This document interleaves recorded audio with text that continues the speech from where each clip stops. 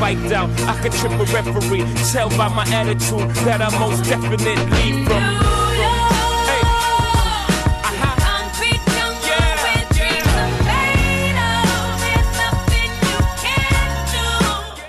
Hello, everybody. Hello, and welcome to another episode of This Week in Startup. Sorry for starting late.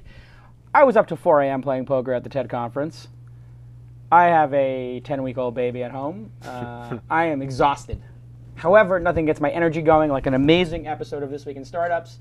It's like your vitamins. T- watching This Week in Startups, if you're an entrepreneur, that's like taking your vitamins for the week.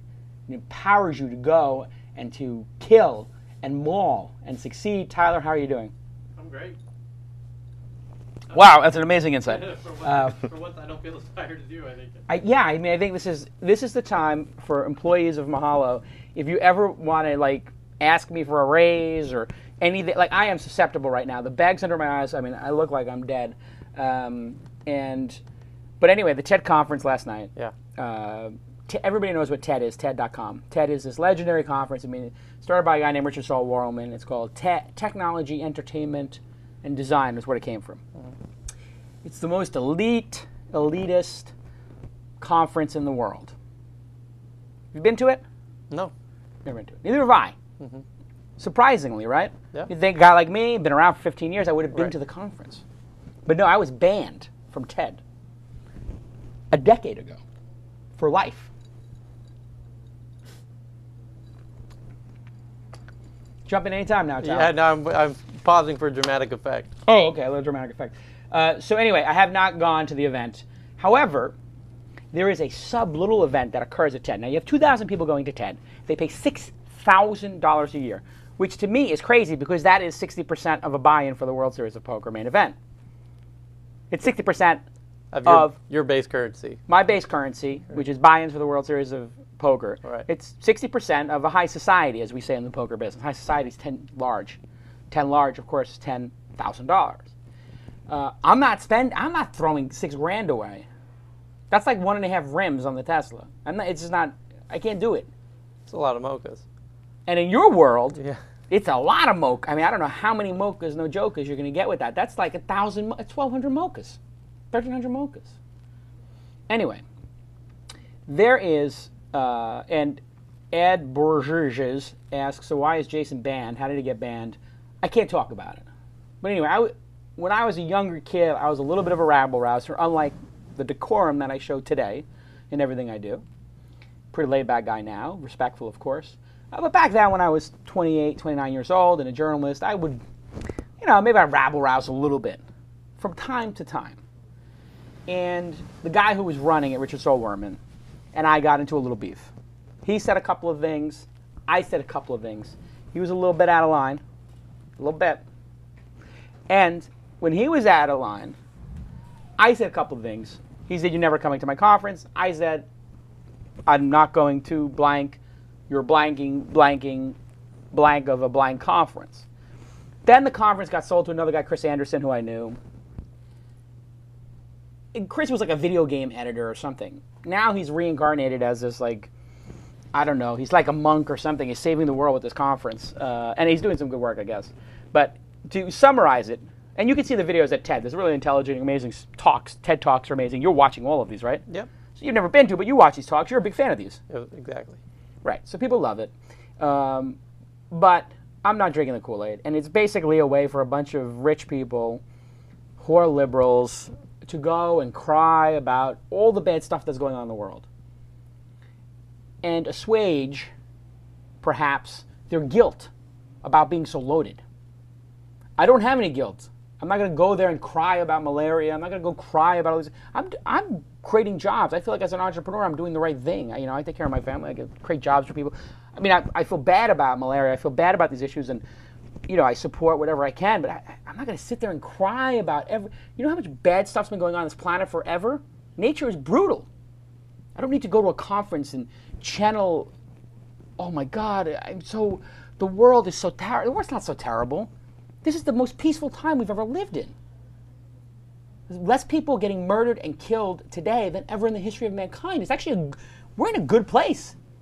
People are living forever. I mean, the, the, the, life expectancy from 100 years ago was nothing. So anyway, all these people want to go cry. I'm not interested. However, there is a dinner at TED, and this is where the whole exclusionary, exclude everybody from everything gets out of control. They have a dinner at TED that my book agent, a guy named John Brockman, uh, he hosts. John is like the most famous guy in the world in science and technology. 50 people go to this dinner. I went to this dinner last night. It was hands down the most impressive room of people I have ever been in in my life. I've been in a lot of impressive rooms.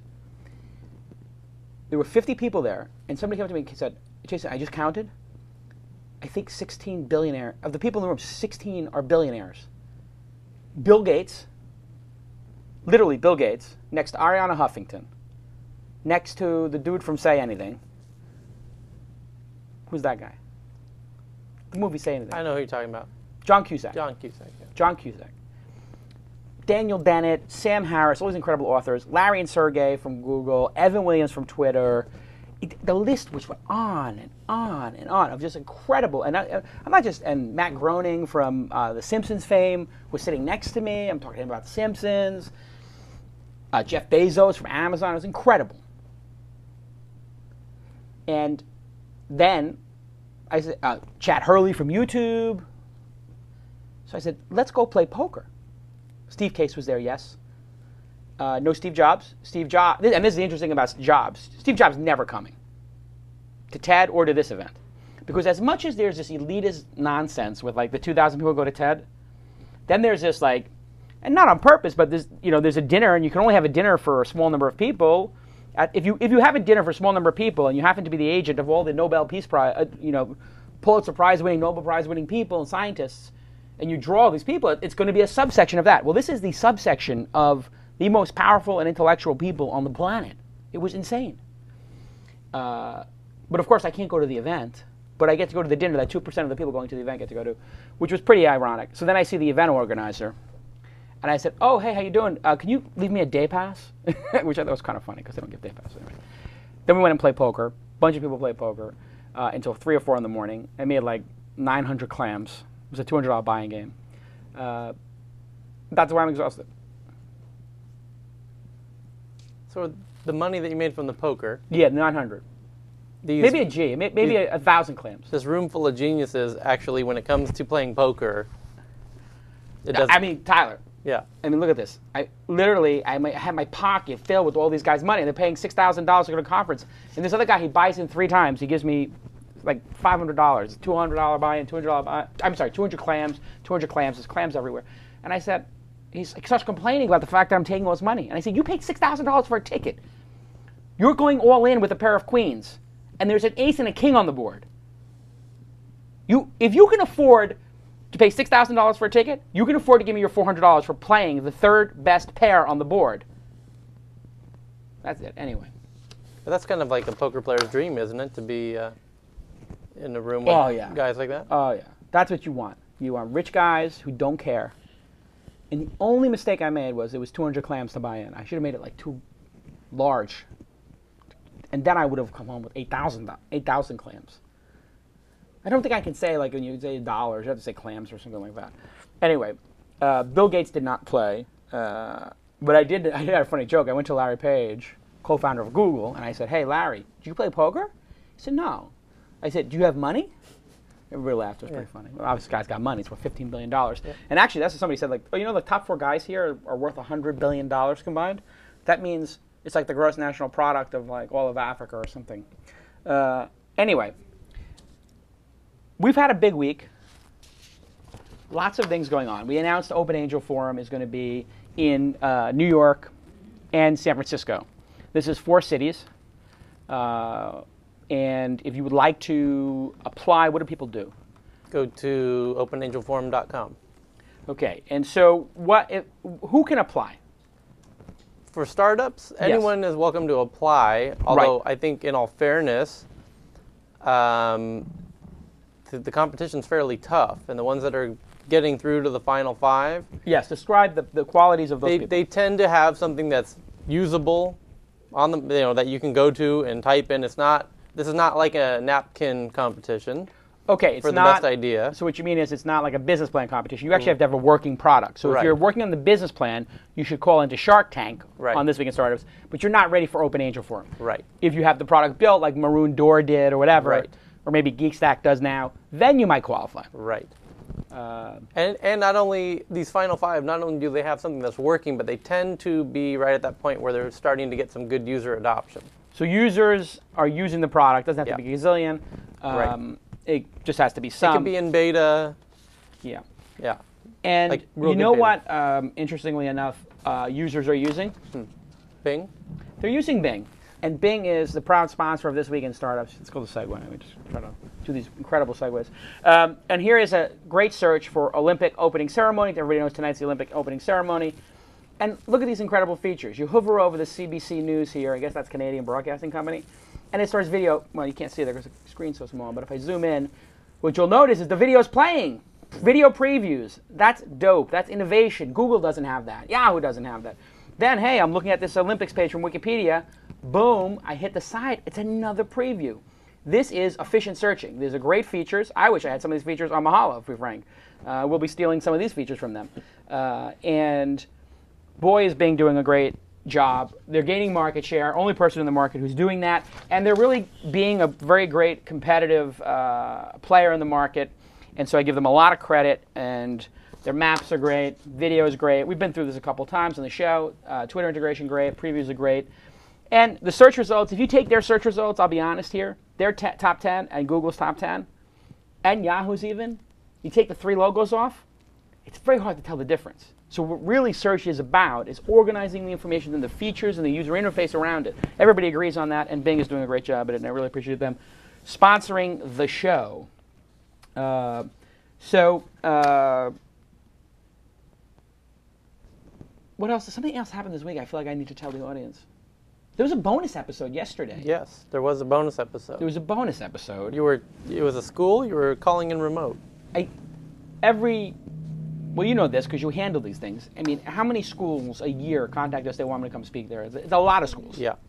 And so we decided with one of these schools. They said you don't have to come across the country to. Was it Penn? Yeah. Entrepreneurs at Penn, and so it, they um, they called in over Skype, and we did a video. And I said, why don't we record this and give it to the audience because it might be interesting, and we'll play a little video from that later. Um, was there something else that occurred? We went to New York Monday. Oh yeah, we had a one-day trip to New York. We had a little uh, important business meeting, and for, pro- for a project, Project L. Can't talk about Project L. Um, then uh, we stopped by Dogpatch Labs. We're in New York. We saw Joe from Local Bacon, TechCrunch Yep. 50 Company. We went to see um uh, Lockhart Steele from Curbed. Yep. We went by and saw Nick Denton at um, Gawker. Gawker, and he showed us his designs for the Apple tablet Yep. of the Gawker blogs. Very interesting, good-looking stuff. He's really thinking good.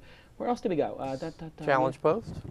Oh, we went to see Challenge Post, and they were doing a great job. I don't know what episode was Challenge Post, Duncan. Some of the super fans tell me in the in the chat room.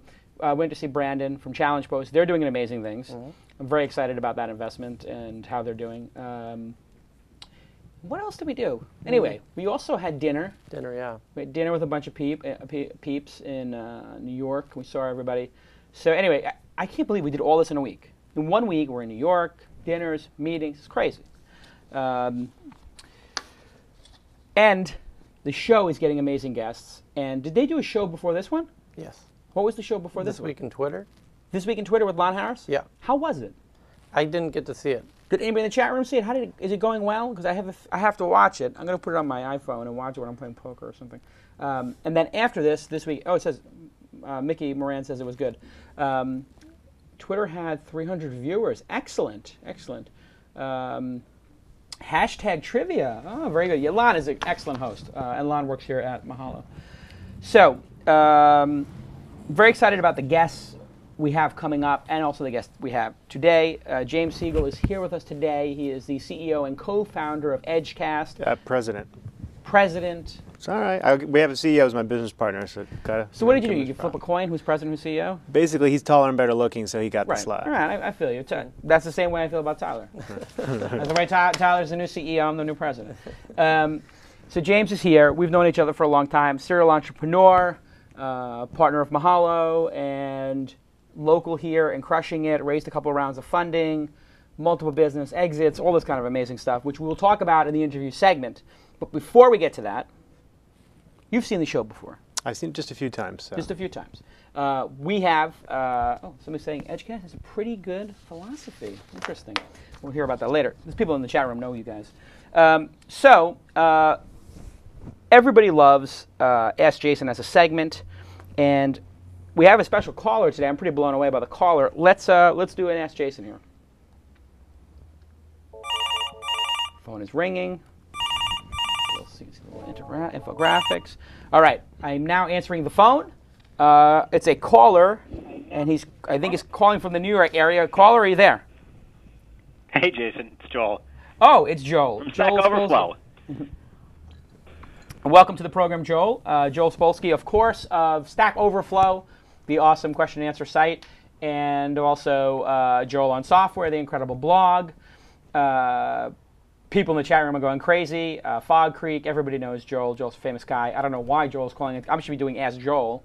Uh, but well, do you have a okay, question do one afterwards. yeah, okay. We'll do, do actually, I will do that. for you. So let me hear the question. Well, because you know we haven't. Uh, I, I, but Fog Creek is a bootstrapped company, and Right. We wanted it that way. We wanted to gently grow it quietly. Um, you know, I wanted to do one startup in my whole life that I wanted to be a place to work at for my whole life, and I didn't want VCs, you know, taking that away or anything. True. Um, but having done that, having established that, uh, it turns out that my second startup, which is Stack Overflow, is a little bit more of a uh, swing for the fences kind of situation, Okay, possibly. sure. So we're starting to get um, serious interest from some VCs, uh, and we have uh, one particular VC uh, that we really like. We like the person, we like the partner. He's got the right kind of experience. You know, it's a decent firm, it's a good firm, and uh, we're presenting to the partners. That's the stage we're at. We haven't yet presented to all the partners, Right. but um, I, I, I, you know, so I don't want to say it's a. Now this is basically what we got without going out looking for capital. This Right. just This fell in your lap. they came to us. Yeah, and Awesome. and various other you know VC sends us little gifts all the time, so I think we're on their radar. Sure. Um, so here's my question for you. The question is, do we just go with this, or do I take six months off and go walk up and down Sand Hill Road and try to get competitive competitive bids? Okay, this is a great question. Um, a lot of people who are uh, first-time entrepreneurs uh, or first or entrepreneurs who have or are doing their first time raising capital like you are, um, they get in this situation. A VC contacts them. Uh, the VC is impressive. Maybe they've got a good track record. Maybe they invested in some great companies. The partner, you, you hit it off, and you're like, this is the greatest thing ever. Uh, much like when you uh, go to a new high school or college, or maybe you move to a new city and you meet a new boyfriend or girlfriend, you're like, oh my God, this is the greatest girl ever. But you just moved to the city. You don't know exactly if this is the best girlfriend or boyfriend ever. Uh, and you probably want to date a little bit. You probably want to see what else is out there. So, uh, there is a way to do this without actually insulting everybody, uh, which is um, you say you're running a process and that your partners and you, uh, this is the way to say it diplomatically to the VC you currently have.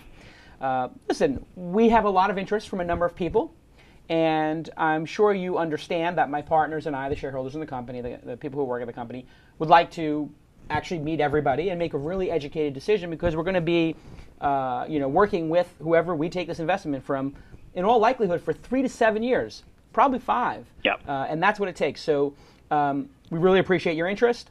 Right now, we, we would be blown away to work with you. Um, but we need probably about two weeks to finish our rounds, and uh, then we're going to come back to you and we're going to ask for a term sheet, and uh, we're going to look at the offers we have. We're going to compare them, and uh, see who we think is the best partner for us. Uh, are you okay with that? I just want to make sure I, I, I sort of be transparent with you, and I don't want to waste your time. And of course, they're going to say to you, because what, what else can they say? Of course, Yeah, of oh, course. of course, run your process. There's no problem. Um, Yeah. And I'm not. I'm a little. I, I'm. I'm not that worried about necessarily insulting anyone. Right. Uh, so much as just. You know, I know it takes a long time to go through that process, and you know, people tell stories of it being six months and nine months and a year, um, and you know, and that's time that we could be building our business. it's six months or nine months when the idea is not good. Oh, It is six days when the idea is amazing and great, and it might be six weeks when the idea is somewhere between those two things. So, for example, with Mahalo, it was like 10 days. Uh, other companies I've been involved with, they go on the road. It takes three months. It takes two or three months. So I would say ballpark, since you have this one ready to go in all likelihood, and you're going to present to the partner, the amount of time it takes to prepare and present to their partnership and what you learn there, you're going to um, have done 90% of the work. So then you should just do what we call a road show. You should go to Sand Hill Road. You pick the 10 Yep. VC firms that you like best, and the way you pick them is look at what they've invested in, what exits they've had, and uh, you can just contact them and say, listen, we're doing a process. We've had some interest. Would you like to see what we're doing? Very short email. And uh, then link to your very impressive um, Quantcast ratings that you've broken into the top 1,000 sites on the internet in uh, just like under a year. Uh, very impressive with- without any resources is to, to speak of. Um, let me ask James, who is here with me from Edgecast, who's I think you've raised capital twice or maybe three times. Uh, in different companies, Yeah. different entities, yeah. So what, what you heard my response, you heard Joel's concerns. Um, is this a major time suck? Is it worth it to see 5, 10, 15? How many on average do you go visit? Yeah, it's it's a great question, and it's different, difficult to come up with a hard and fast rule. I'd say if you've worked with venture capitalists before and you feel like you have a good sense for judging them, reviewing them, evaluating them, then you could probably get the process done to Jason's point pretty quickly. I mean, especially someone like you or me who's been through it is going to get Yeah. get through these guys quick. But if you haven't necessarily done it before, you might want to take a little extra time. So you might want to you know go through and actually you know spend some time getting to know these folks. Do a lot of reference calls. That's the key thing. Uh, so even if you get in bed with some folks, and let's say you narrow it down to three or four, and they all make you good offers, uh, you need to take a lot of time before you decide. You want to call every CEO who's ever worked with them. You want to ask these guys, hey, who have you invested in that doesn't like you? Who, uh, wh- which of your investments have failed? Those are the folks you want to talk to. And you want to get on the phone with Jason and me and everybody you know and find out from your sort of network what these guys are really like. Because they're sitting on your board, they're making your life either living hell or uh, it can be a great three to six year run. Exactly. I mean, you have to pick this like picking a spouse or a partner. It's that serious. It's really that serious. You will spend, uh, and, and there will be hard times. No, no company, even if, if you're successful, there's going to be a lot of hard times because nothing breeds contempt like success, I can tell you. I've, I've been involved in some very successful things. Holy cow, some people lose their SHIT. Like, I can't curse on the show because I'm going to get problems with the iTunes because Steve Jobs doesn't like people cursing on the podcast. But um, you've got to be really careful. And uh, somebody in the chat room asked, what is Sand Hill Road? Sand Hill Road, you can just type it into um, Wikipedia or Mahalo and uh, or Bing, any of those amazing services. and what you will see is Hill Road is an area. It's like a, ro- a little, literally a road in um, Palo Alto, out in uh, Silicon Valley in California, Northern California, just south of San Francisco, and about 20 minutes south of San Francisco. And there are literally hundreds, probably 200, 300 venture capital firms there. They all have the same buildings, and you can, in one day, visit five VC firms for an hour each and drive less than one mile between them Uh, and, and walk actually in the same buildings and, and, and complex. So um, the one thing that James said that I want to just highlight is he said you have to call and ask for references. This will make you look very, very astute to the venture capitalists. So when uh, I was working with Sequoia and Roelof both uh, was you know interested in Mahalo and I was interested in Sequoia Capital, obviously who wouldn't be, uh, and they said, um, you know, we're interested in. Uh, do you have a couple of references, people you've worked with? And of course, yeah, here's my partner Brian Alvey, and here's this person, here's that person, and um, and I, sa- I, I said to them like. Actually, I didn't even say to them. I looked at who Roelof had worked with before on LinkedIn. I, I contacted those people on my own. Oh, yeah. And I just emailed them and said, hey, do you have five minutes to discuss what it's like to work with Sequoia? And then when I talked to uh, Roelof at the next meeting, he's like, oh, you know, I heard you were talking to some of our CEOs. I was like, yes, of course, they had such amazing things to say about you. And when you talk to them, say, what's, what do you think their weaknesses are? You know, it's standard questions, but uh, there's also another great site, thefunded.com, run by Adeo, uh, who does the Funded Institute, uh, which is a high, both are high quality products in my estimation. And the Funded is um, uh, sort of anonymous uh, commentary by startups that I think is probably about 90% correct, probably about 10% fake. So sort of like Yelp or anything else on, the web. That's a that's a message board, review board. Uh, and overall, you'll, you'll get some interesting insights into uh, your VCs. You know, one other quick comment is there's the partner that invests in your company, and that's like a direct relationship. Yes. But then there's the actual firm itself. Correct. Because you got to keep in mind that you might have this great relationship with this partner. They sit on your board, they invest, and then they hop to another firm. You got some stranger who you don't really know who's sitting on your board. Correct. So you got to make sure a that's a good relationship with your partner, but b that there's a backup relationship and another Yes. backup relationship. Because what if they leave the firm and this happens? Uh, you know, you think ah, I got the greatest guy since sliced bread on my board or gal. They leave. They go to another firm. Somebody else is joining your board and they're and they're busting your chops. You're like, I didn't sign up for this. You know, like I'm an adult. I don't need you to come here and ask me what my China strategy is or what what will Stack Overflow do if Microsoft decides Goo- to. if Google goes into your business. Yeah, if Google goes in, if Microsoft decides to put a Stack Overflow in every, you know, web development kit, uh, you know, what, what will you do? You know, and it's like I don't, I There's don't a- there's know. a link on the desktop. Exactly, they're gonna put a link on the desktop to Microsoft Overflow. You know, it's like relax. Um, so uh, this is this is good. I now since we have you on the phone and I had sent Yeah. you a private message because I always ask Joel when I have questions about developers because although I'm a CEO, I am and I did very bad development of Lotus notes and scripting, and I was a horrible programmer. Joel is actually an excellent programmer, and so I asked you a question in email. Um, I want to share with the rest of the audience, which is. I've been reading this book on. I should say reading. I don't read. Uh, that, I read email, but I listen to Audible. And Audible has a book called "Talent Is Overrated." It's an awesome book. It talks about the basic premise of the book is like, listen, Tiger Woods and Mozart, they were not inherently good at what they did. They had parents who uh, took off from work and spent all their time doing deliberate practice with them to get better. And so, my question to you is since you work with developers and know their mindset very well, how can the concept of deliberate practice, or just how in general, do programmers get better at what they do? And should a startup company uh, do something with their time uh, with developers to actually have them develop their skills and get better in practice, or is the practice inherent in what they do every day? Uh, it's a good question. It depends on the type of development they're doing. Um, so there's a certain class of developers. They used to be called COBOL programmers, and then they were called Visual Basic programmers, and now they're called Java programmers. And that class of programmers, uh, and now I'm- obviously this is a huge generalization, uh, but that class of programmers are often just doing the same thing for year in and year out. Like they made one report, and then they made another report, and then they made another report, and they made another report. Then they made an input screen for the first report, and then they made an input screen for the second report, and they you know repeat for 14 years. They're not learning anything. And uh, on the other hand, there's another class of developers that are really kind of always learning new things, and what you'll generally see is that they're using a reasonably modern technology at work, whatever the technologies are, because they would be bored in a VB or a Java shop. Um, so they're working somewhere in Python or Ruby. And uh, at home, they're, they're, they've got Lisp compilers that they wrote themselves, and they're using weird academic languages that have just been invented, and they're always trying that stuff out on their new projects. And of course, they're you know they're they're bloody from the experience, uh, but they are sort of learning new things. And so, um, you know, if, you're in that if you're in that first category, and you you could say that your last year of developer experience is pretty much the same as the year before it, uh, then you're not you're not really learning new stuff. And and there's there's definitely some obvious things uh, to start with. And I have recommendations for people. Like if you've never learned a functional programming language, um, you know, they're great. They're great ways to do that.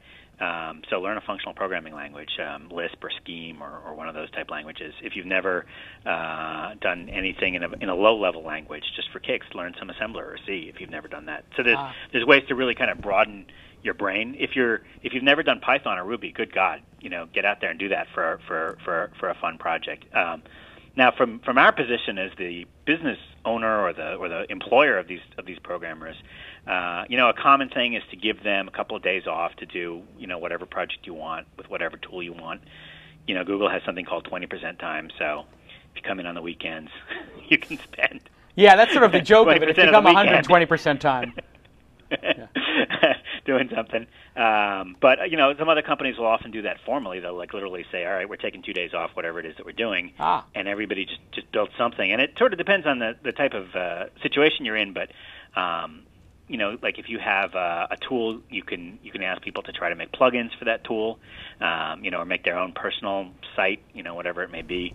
Um, you know, just something where they want to learn something new and they want to kind of uh, kind of stretch and do something a little bit different. And you'll find that they'll almost always if they're if they're good programmers and they're curious, they'll want to use a new programming language or, or some new tool that they haven't used before. Right. Okay. This is great advice. My group falls into the latter. I am very uh, thankful for the for your advice because my team is doing just that. They have been embracing things like Django and Cassandra and teaching each other. And uh, the only thing we really don't do here, because we're on a pretty aggressive competitive schedule, is the 20% time. Uh, that being said, I think that this will be the year, year basically four of Mahalo, when we actually could, now that we're getting overstaffed uh, and, and trying to have maybe 50% more developers than we need, we could actually rotate people on a sort of like maybe 25% of the staff could be doing, say, we could put them in a room and say, hey, do something like X.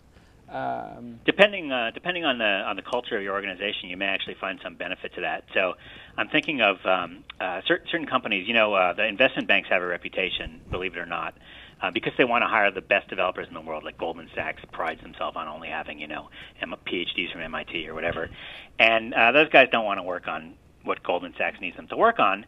Uh, so they pretty much give them free reign, or they give them hmm. a little bit of free reign in terms of what technology they're using, what tools they're using. Right. And if you walk into one of those investment banks, you'll find that the entire development team is always porting their entire trade management system from one programming language to another programming language. That's Right. just a little bit cooler. and it's a complete waste of time and it's a complete waste of money and their managers know this, but they let them because that's what it takes to have the PhDs from MIT working on your trading system. You know, is that they want to tr- rewrite it from from Python, which was hot 3 weeks ago, to Clojure, which is hot this week. huh. Uh, Interesting. So in a situation like that, you know, you might even benefit from 20% time. You might say, you know what, you guys do whatever the hell you want on Friday, but Monday through Thursday, you work on the Java trading application. No Right. risk, well-known technologies. Yep. Get your learning kicks from something else. Right. Awesome.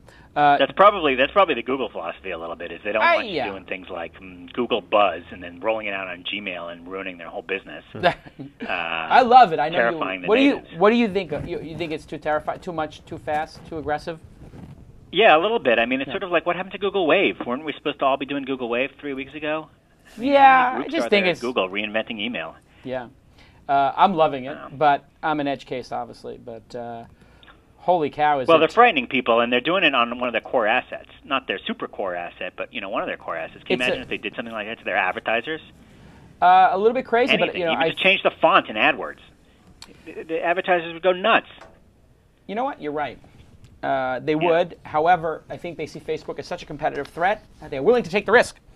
Uh, Joel, Yeah. thank you for calling in. Thank you for answering Sure. my question. James, do you have anything to add to that on the um, on the keeping smart people engaged and Yeah, I'd be, Deliberate. cur- I'd be curious for Joel's feedback as well because you know we run a big network, we're pushing a ton of traffic, growing at a phenomenal rate, and the reason our engineers like it is because they get to break things all the time. Right. And what they like about breaking things is, of course, they get to fix things. yes? And so um, that is something that people really get turned on about. So I think that if you're in a more stable environment and it's maybe a little less action packed, that must be tough. I, I, I- one every other day I wish I was in a stable environment, but I'm not. You, what you're referring to is firemen, uh, fire firefighters. Trying to use a non. I always try to use a non-gender specific. It's hard to do when Mm. Fire you, people. No, firefighters. That's it. There It's you like go. Non-gender specific. It's like the firefighters who go and then light a fire in the mountains so they can go light it on fire. That's what you're saying, right? That's what your people do. Yeah, but it's also They cause that, chaos in order to fix. I'm just kidding. Right. No, but that. but they do push the cutting edge of technology, right? So if you can get certain productivity out of a Yeah. server or a switch or a router, They wanna do it. and then we break it. Then you want to take it to the next. You want to double Right. or triple the productivity. yeah. Well, that's, think um, that's the great thing about a startup, and that's going to happen naturally in a startup, is that whatever was working three weeks ago, if you're growing at the right rate, is not working anymore. Yeah. And so, you know, those are opportunities to learn things, and, and that's what's sort of fun about it. I mean, Jeff Atwood, who is the uh, sort of the tech lead on Stack Overflow, I had a great time building his own servers and then adding memory to the servers when they fell down, and then adding more servers when the one server couldn't handle it. And uh, and that was really like a, a learning process for him. He'd never done that stuff before, and was really interesting and fun. And uh, that's, I mean, that's why I like startups. I've been doing Fog Creek now for ten years, and every year is different. You know what I have to do and what I'm what I'm facing. you prefer to be a samurai as opposed to being a rice farmer. I understand, Joel. Yeah. It's my, it's my new analogy. It's like everybody in the world, everybody, the Okay. 90 percent of people in the world, they work on a rice Wanna farm. they rice collect the rice. And the ten percent of us who start companies and the people who work for our companies and with us are the samurai, and we protect the village. Uh, okay, uh, good seeing you last week in New York, and um, Yep. I will talk to you soon. The best place for people to find you is obviously at what? JoelOnSoftware.com. JoelOnSoftware.com. We'll talk to you soon. Cheers. All right, thanks, Jason. I love the celebrity ass Jason. This is a whole new thing. We should have celebrity ass Jason. That's pretty cool. I mean, I'm, I, you know Joel, right? Obviously. Sure. I mean, it's like I'm a I'm like a Joel fanboy. I love when he um, I love his blog and everything. If you're in the technology space, you know who he is and you know what he does. So we have to work on that some more. Um, but you know what you don't have to work on, Tyler? Uh, Power VPS? No, you don't have to work on Web- close. You don't have to work on uh, having your servers up and running, and you don't have to worry about your email servers filling up and the storage breaking and, and viruses. And did you update the servers? If you use DNA Mail, DNA Mail, everybody loves DNA Mail. DNA Mail has been a Sponsored of This Week in Startups since the beginning. We're 41 episodes in. We have nine more episodes to the big 50th episode, which we will be having a huge blowout party for probably on the Microsoft campus up in the Valley. They, they're really interested in doing it there. Uh, and DNA Mail is awesome. If you would like to go try it, it's a free 30 day trial, uh, free activation and setup, free 24 hour support, 9999999% uptime or something to that effect. There's a lot of nines in it. 295 a month, unlimited email, and they also do. Um, Google Docs, uh, Google Domains, yes. And they have been a great sponsor of the show. Don't screw around with putting up your own email server. That's crazy talk, doing IT when you're at a startup company. So uh, the next segment is Jason Shark Tank. And uh, in this one, they're going to pitch us, James, Nice. on their business idea. They will have 60 seconds, and then we will criticize it harshly. And we will break them down uh, to the point at which they either get inspired to do better or they go back to picking rice in the fields. It's no fun if someone doesn't cry. Basically, is our that's our motto here. What do they call it? The, the rice fields. What are they? Patties? Are they patties? Is it rice, Rice patties? patties? I don't know, Tyler. You lived in Japan. You didn't, I don't know. Okay. All right. Can we get the first Shark Tank, please?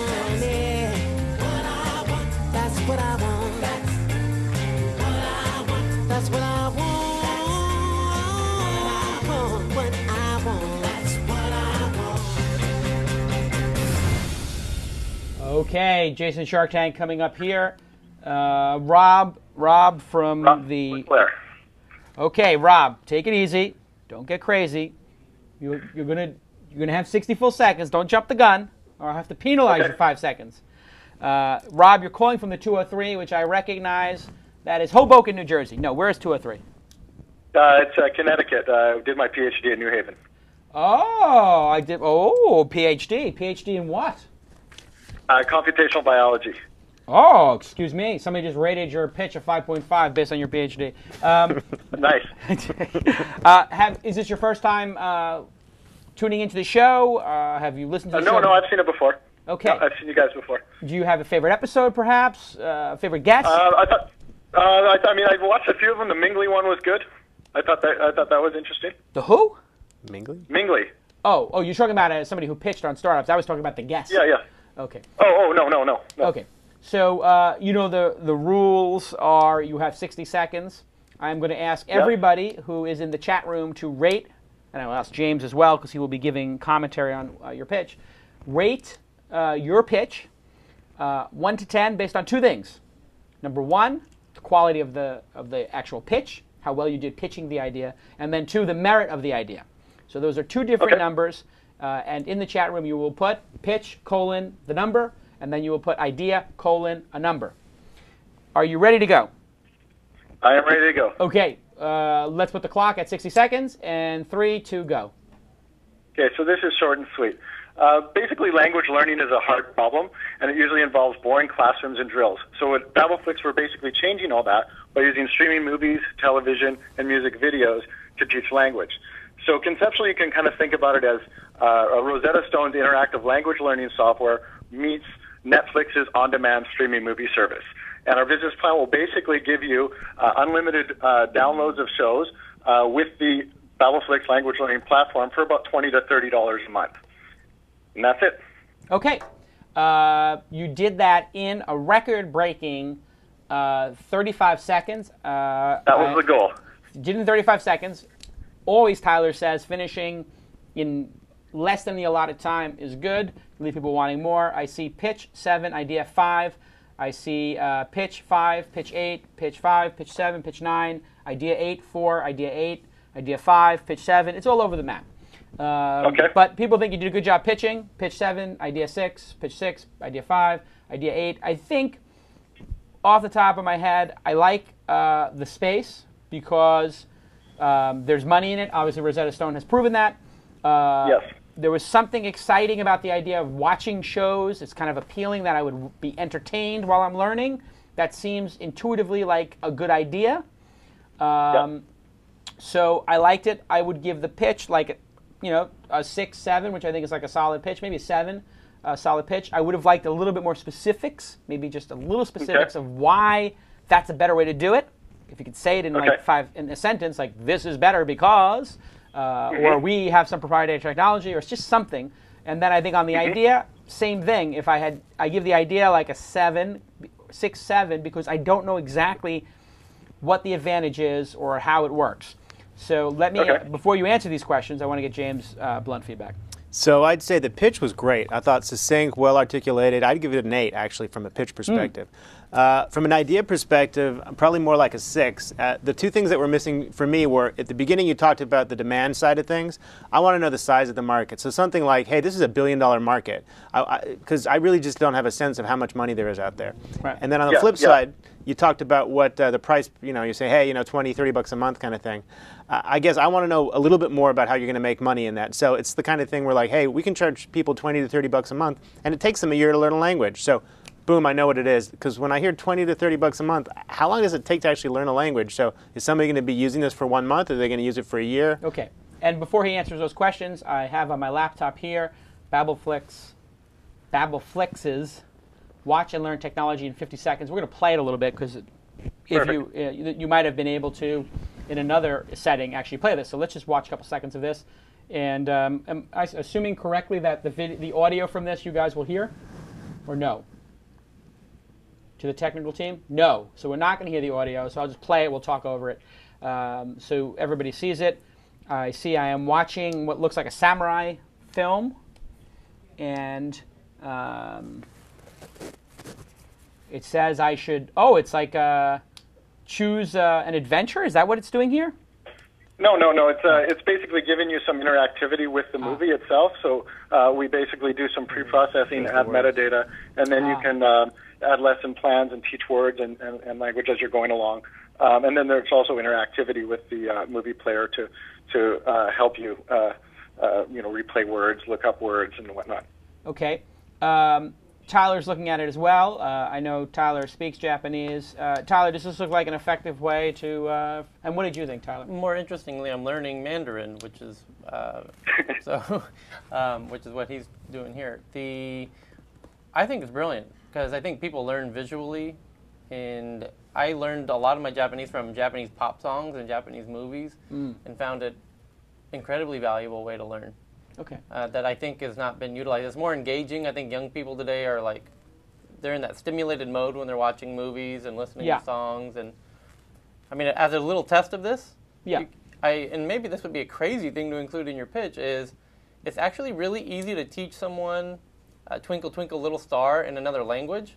Ah. They'll learn 20 words that otherwise would they would never ever ever ever get. Very Right. quick because of the melody. Ah, and it's so ingrained. Yeah, and then, and then you see this Look is my point this. is because you know twinkle twinkle little star. Now you remember the words. Interesting. Um, Tyler's on my PR team. Absolutely. Uh, so Tyler, you didn't give it a rating. What do you, what do you rate it? Um, conceptually, uh, go the other way around. Pitch wise, uh, seven. I think I get you left out a little bit, as Jason said. Market size, like James says, is kind of important, and uh, adding a little more hook, like why why this is actually better. Give some kind of fact. Even a s uh, I think it missed a couple core st- statistics, like grounded in some facts. right. That Okay. you whet the appetite. And the idea? Conceptually, I put it at nine. Oh wow. Okay. So uh, and before you saw the actual video. Yeah, I'd, well, I'd seen the video before. Oh, okay. So, 100. but if you hadn't seen the video, would it be the same or a little less? The video is. Yeah. pretty powerful. videos, the video explains it better. I think after I see the video, I'm, I sort of feel like eight or nine. Yeah. Like I, this is the, this is the kind of company that I might actually invest in. Like I'm kind of intrigued on that level. What's the status of the company? Have you raised money or no? Um, we we did we had a we had a raise, but it fell through, so we're uh, back to uh, back to beating the pa- uh, pavement. Where? So And you tell me again where you're based. uh, we're based out of New York, Oh, okay, very good. Um, but I uh, like. we're, we're we're open to uh, we're open to relocation. Ah, okay. Uh, well, I mean, what you should be open to is coming to the Open Angel Forum in New York in April and pitching. Uh, I was I was there, I was at the uh, forum in New York uh, yesterday. Oh, good. Um, I think that you might. This is, and when we when Tyler talked earlier in the program about what gets into Open Angel Forum, this is the type of like really good idea that's got some really good execution. Maybe not traction in the market yet, but maybe before you know two months between or in the next six weeks, it could get a couple people. I'll tell you one thing about it. I was not psyched about it being uh, a foreign movie for an American audience. So I wonder if you could do this for Gladiator, since I can basically know the script to Gladiator like Right. the back of my hand, or if you could have somebody dub um, a movie where pe- like a cult-like movie where people know all the words, like I don't know. Yeah, Rocky, yeah. Rocky Horror Picture Show. Yeah, I mean, that's I, I like too think what culty. I'm- ultimately I'm what we're going to have to do is do a little bit of uh, R&D testing on which actually works the best Ah. with uh, different, like you know, whether it's it's foreign movies, uh, learning uh, uh, that language uh, and using your native language, or or vice versa. You know, using Gladiator when you're learning Japanese, for instance, or uh, so it, it's that's that's I guess a bit of an open question. Right, and you know what's interesting is if you Godfather would be a good one for certain. I mean, it's gonna be different for different Yeah, people, but yeah. Godfather guys can recite like crazy. I Yeah, am absolutely certain that they have dubbed Godfather into 50 languages. So, Yeah, and so that would be a perfect candidate actually. do you have the rights to use movie clips for educational purposes like this? Uh, so what, what, what we what we can do, I think, is we can use uh, we can work with institutions, uh, you know, ed- universities and language schools, and we can use their educational license. Now we will need to license content. Um, from what I've I've understood, I've talked to some people who source content, and it shouldn't be too big of a deal. Uh, just on the grounds that. We if if we're trying to get the latest movie, you know, the movie that came out yesterday on DVD, we're not going to get it. But movies, uh, you know, once they pass their expiry date, they're pretty open to uh, to opening up their catalog to that kind of stuff. Um, okay, very interesting. Uh, stay in touch. I liked it a lot. You'll probably Great. be hearing from Scott Simcoe, the super fan blogger on This Week in Startups, um, who will probably want to uh, keep up with your story. And we'll talk to you soon. Great, thanks a lot, Cheers. guys. Have a good day. Pretty good. Pretty good. Pretty good. I'm, I'm pretty satisfied with that one. And we have a second one. I guess we're doing two today. Um, we usually do one, but we'll do two. Okay, uh, Sean calling from the 435. Uh, are you ready to go? And did you see the previous caller? I did, and yes, I am. Okay, now, after having seen that previous caller, are you in any way intimidated? Not in the least. I love it. Bring nice. it. Bring Good. it. Uh, now, have you been listening to the show for a long time? And do you have a favorite Yeah, episode heard or every- segment? I've heard every episode. I think uh, Gary Vaynerchuk. He's, he's kind of a nut, and I like that. Yeah, I would agree. Uh, Gary Vaynerchuk is a nut. That's a pretty accurate statement. Uh, he would agree with you. Um, okay, so I will ask everybody in the chat room is the chat room ready? And if the chat room is ready, they will say yes. Yes, Commander, I, we are ready. Yes. Commandant, yes. All clear. Uh, oh, Captain, my Captain, they say they're ready to go. Uh, yes, Zod. Yes, kneel before Zod. Um, you have 60 seconds. The clock is being set, and you will start your pitch in three, two, go. Jason, our education system is in a crisis. Did you know that we spend $25 billion each and every year for on the job training for teachers? Despite that fact, the top education official in the U.S., Secretary of Education Arne Duncan, recently said, and I quote, No area of the teaching profession is more plainly broken today than that of teacher professional development. This is a crisis because decades of research show that the most important factor in student achievement is teacher quality. It's just common sense, right? So my company is called There Now, and we have the solution to this crisis. We've developed a product called Iris Connect. It's the world's most advanced on-the-job training system for teachers. Iris Connect has two parts. The first part is an unobtrusive, portable, pan-tilt zoom camera and wireless microphone system that you place into any classroom. The second part is a web application that gives a remote observer a virtual window into that classroom through the hardware. The remote observer is a coach, a mentor, or even a colleague that's analyzing the video to provide immediate feedback to help that teacher improve. The observer can embed text, audio, and video feedback directly into the recorded observation. These videos and the feedback can then be shared through our web application. So Iris Connect is a bit like YouTube plus LinkedIn for teachers. Okay. Um, you finished in time. You did okay. Uh, I'm going to ask everybody in the chat room uh, the pitch and the idea. And I see pitch nine, idea four. Pitch three, idea five. Uh, nine and eight. Seven uh, pitch. Seven pitch. Ten pitch. Nine idea. Three idea. Five idea. Eight idea. Seven idea. Four idea. Uh, James, what did you think? I'm going to have to give it low ratings all around. And the big reason is uh, where's this money coming from? Who's going to pay for this? Yeah. Uh, I guess that's the big hole in this. I I just can't figure out like, is it a government pays or the teachers pays or LA Unified pays or the federal government pays? I mean, there's Okay. no money in schools. Okay, so that's interesting. Uh, he did say this $25 market, but $25 billion market. Uh, however, uh, yeah, I, I, I had a question about that. And I, I would say I thought the pitch was pretty good, like a seven, and the idea maybe a six or seven, but I don't, I don't think I actually understand the idea. Um, I, you said it's LinkedIn, but then there was something about a webcam, and I don't know exactly what we're talking about here. Tyler, what, what, you give me your ideas. Um, Scores and ter- idea. uh, the, he- Scores. the score pitch four idea could be an eight nine. Okay. I What is the idea in your mind? I want to hear what you took away from this. I What is my- the idea? I have my own idea for what he's doing. I know you, and you will have many insights. Yeah. What I'm asking you now is to explain back to him what he told you. Explain Uh, his yeah. idea to him in plain English. He, his pitch was such that you can't really Hmm. reiterate back, and that's a good test of your pitch. Is- Before, if is the- to say it to somebody and say, "What did I just say?" yeah. Say What is my business? Right. Okay. People in the uh, chat room, uh, please explain in one sentence what this business um, there now is.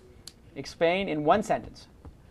Can you explain, James, what this is in one sentence? The Yeah. product itself. Yeah, it's uh, additional training and certification for teachers with you know some kind of mentor looking in on a webcam. But I still can't figure out who pays for it and Okay. what the financial revenue model is. And interestingly enough, I'm just watching people here. Somebody says Big Brother in the classroom, uh, remote coach watching uh, and assisting a teacher through training, camera in classroom to assist teachers, um, real time training, making teachers better, training and Borgs, uh, instant teacher feedback, no clue. People on the web will give feedback to teachers on their performance. Yes, obviously, we're going to, your, your idea is to webcast this to the open web and have anybody give feedback. Uh, okay, so there you got some feedback, um, Sean. Uh, tell us one more time what the product is. That's question one. And the second question is, what, who pays? Take it in Well, any order. um, education researchers and practitioners have known for a long time, for like 30 or 40 years, the most effective way to train teachers, or really anybody for that matter, is through what's called cognitive apprenticeship. It's basically an apprenticeship where you uh, someone models best practice, and then you try to perform that best practice, and they give you feedback about your performance. Now, this is going on in schools right now. It's just being done inefficiently and ineffectively because the expertise that's needed is so disparate. And the travel that's involved makes it very difficult to actually implement in that, uh, that in schools.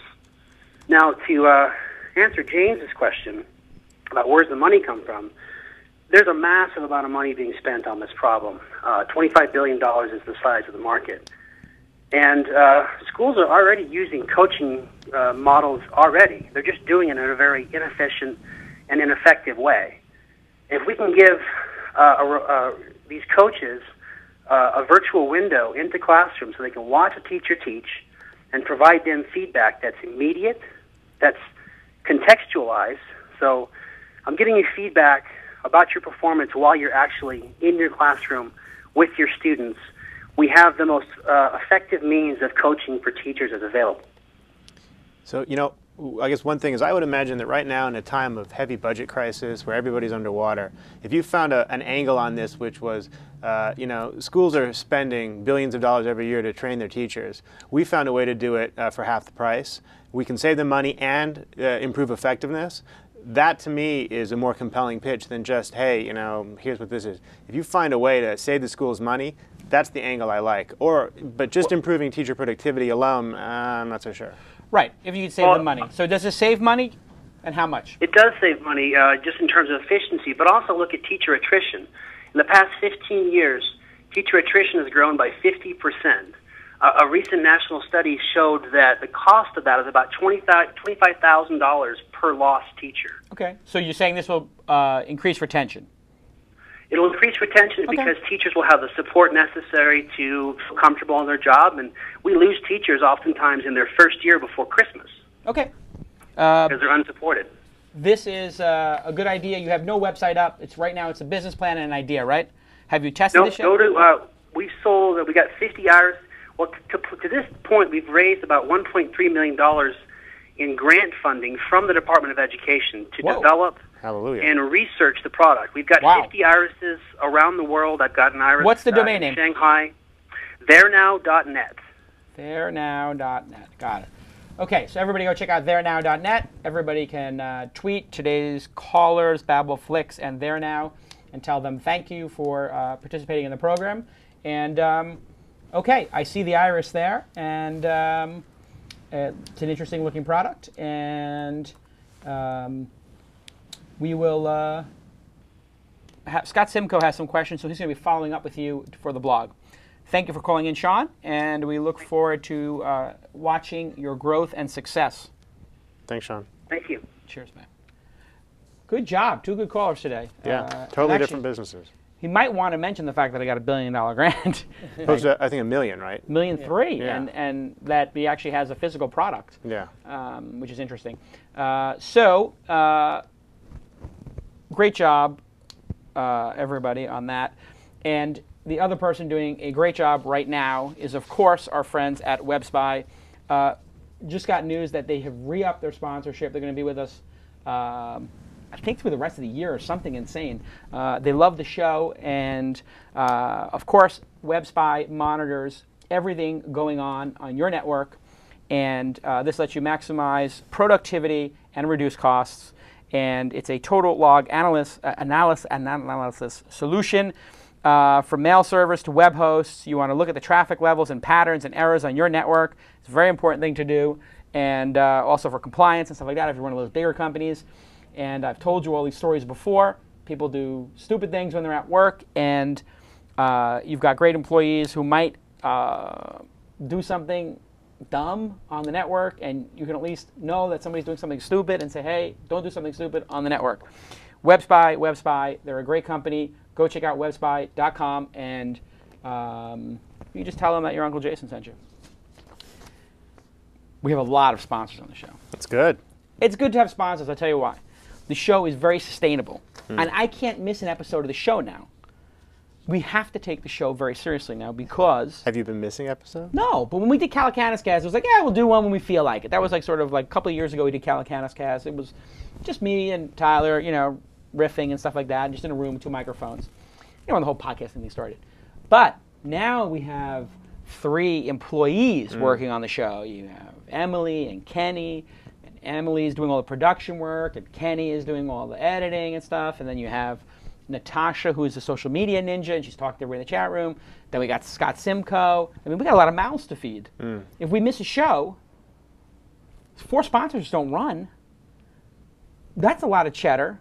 Plus disappointed audience. People. Plus who- a disappointed audience. Right. Then I can't pay their salaries. Then they can't pay their rent. I mean, it's the whole. That's how the whole United States got in this trouble to begin with. They move in. wouldn't- They're going to move in with you. That's what's going to happen. No, they're not moving. I already have somebody. I got Josh Harris living in my pool house. That's enough. Uh, James, um, Edgecast has been doing great. You're a local startup here. Um, tell everybody what is Edgecast and uh, how did you get the idea to start this and, and where is the company at now? Sure. So uh, we are a content delivery network. Basically, we make websites run faster. Uh, we power Mahalo and about 1,200 other websites. Uh, and if it weren't for CDNs or content delivery networks like ours, uh, the, the internet would simply stop working. Uh, we're really uh, sort of propping it up now. You think about the volume of users on the internet, the uh, this broadband penetration is, I think, what something like 80% in North America, and it's you know growing all over the world. Everyone is depending on the web for almost every kind of communication. And what uh, content delivery networks do is we keep copies of websites in storage caches or storage uh, locations closer to end users, very well connected. So we've got you know big pipes into all the big networks, and we make sure those websites load faster. And we do that for video streaming, for downloads, for podcasts, for website acceleration. And uh, we are just a, a big infrastructure provider for the web. Now, why um, does the web need this exactly? Like, you know, people have servers. People think, gosh, you know, the, the internet is designed so well. You have a server here. You connect to it over all these fiber optic lines. Why do you need to take the data from one server and put it in 50 places? And, and when did this whole concept of CDNs, content delivery networks, start? Sure. So I mean, the big the big gorilla in the space is Akamai. They started this, Sure. gosh, a little bit more than 15 years ago. And uh, what happened was is that all, if you think of all the uh, the web uh, internets out there, the net sorry, the networks out there, uh, they were really poorly interconnected. So you used to have Prodigy and AOL dial-up, and you had all these different little ISPs that were bringing people online, and they didn't all sort of overlap well. So you think you had a spider web here and a spider web here and a spider web here, and at some point these ISPs all consolidate and get bought by bigger telcos, and they have to find a way to work together. And what happens is if you have a data, a piece of data that needs to go from New York to Los Angeles, it doesn't go in a straight line. It goes in a very, you know, crazy route all over the place to different routers and networks and hops. And so it takes a long time to get there. We've all come to expect really, really fast page load times. And so in order for that to happen, there's no way with both the combination of the speed of light and with the interconnectivity of networks for that piece of data to get all the way across the US in time.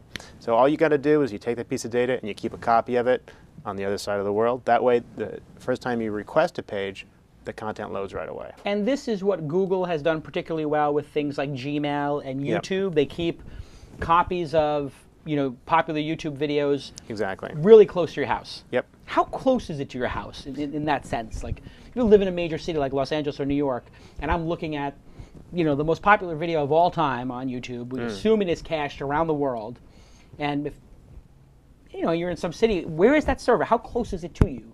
Well, there's two ways to think about close. There's physically close, and then Right. there's network proximity. Ah. Network proximity is measured in milliseconds. So how long does it take the content to get to your computer? So you want to be, you know, less than a second away. You want to be maybe 80 milliseconds away, and that's sort of the refresh time that your mind needs in order to see content load really fast. Uh, physically, 80 milliseconds could take uh, 100 miles, or it could take 10 miles to travel, really depending on the congestion on the internet. Ah. So, for instance, we're here in LA. We're in Santa Monica.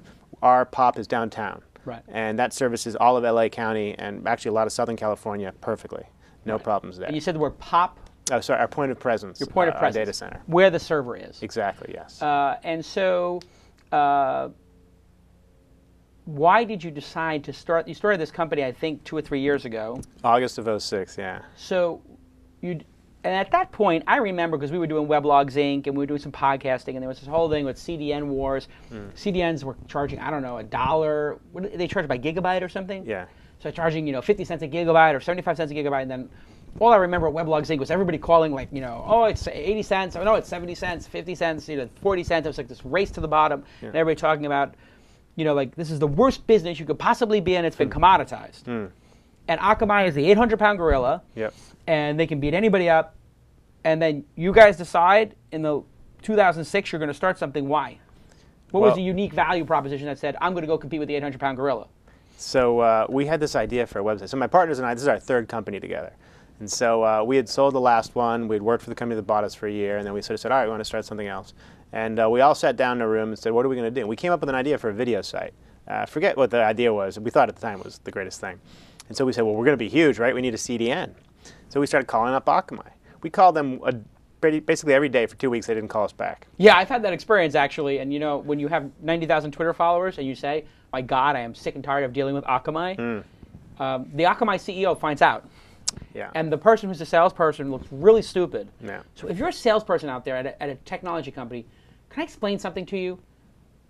If you ignore clients, you are extremely stupid because the CEO will find out, and when they do, they will hit the roof. I if somebody told me that one of our salespeople did not return a call in the same day, I mean, 48 hours, sec, next day would be the absolute limit. If I found out there were two days and somebody didn't call back, three days, I would fire the salesperson immediately. I- It would not even be a discussion unless like their dog died or that you know something would have to have happened.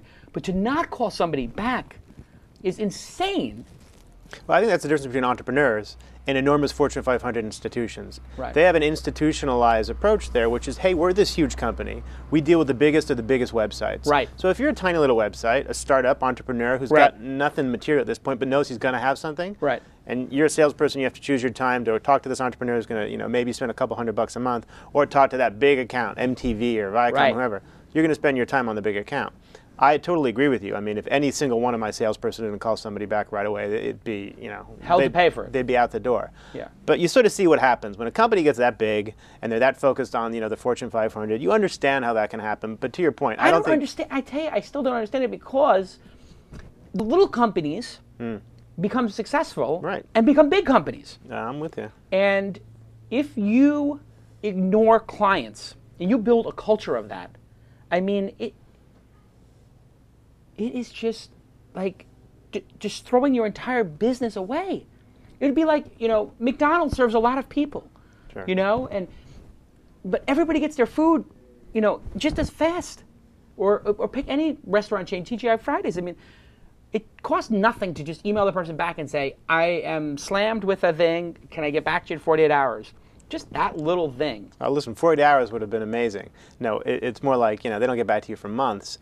And Ah. that's even if the lead comes in to a salesperson because it has to go through some, you know, Right. crazy route in order to get to someone. It gets vetted by a call center It in took India. me three or four days of tweeting Yeah. how pissed off I was to get somebody to call me back. Yeah. Finally, what happened was my friend who sold his company to Akamai emailed the CEO and said, What is going on? I sold you my company, and you're ignoring Jason. uh, uh, and he said like five times, Does nobody even watch the word Akamai on Twitter?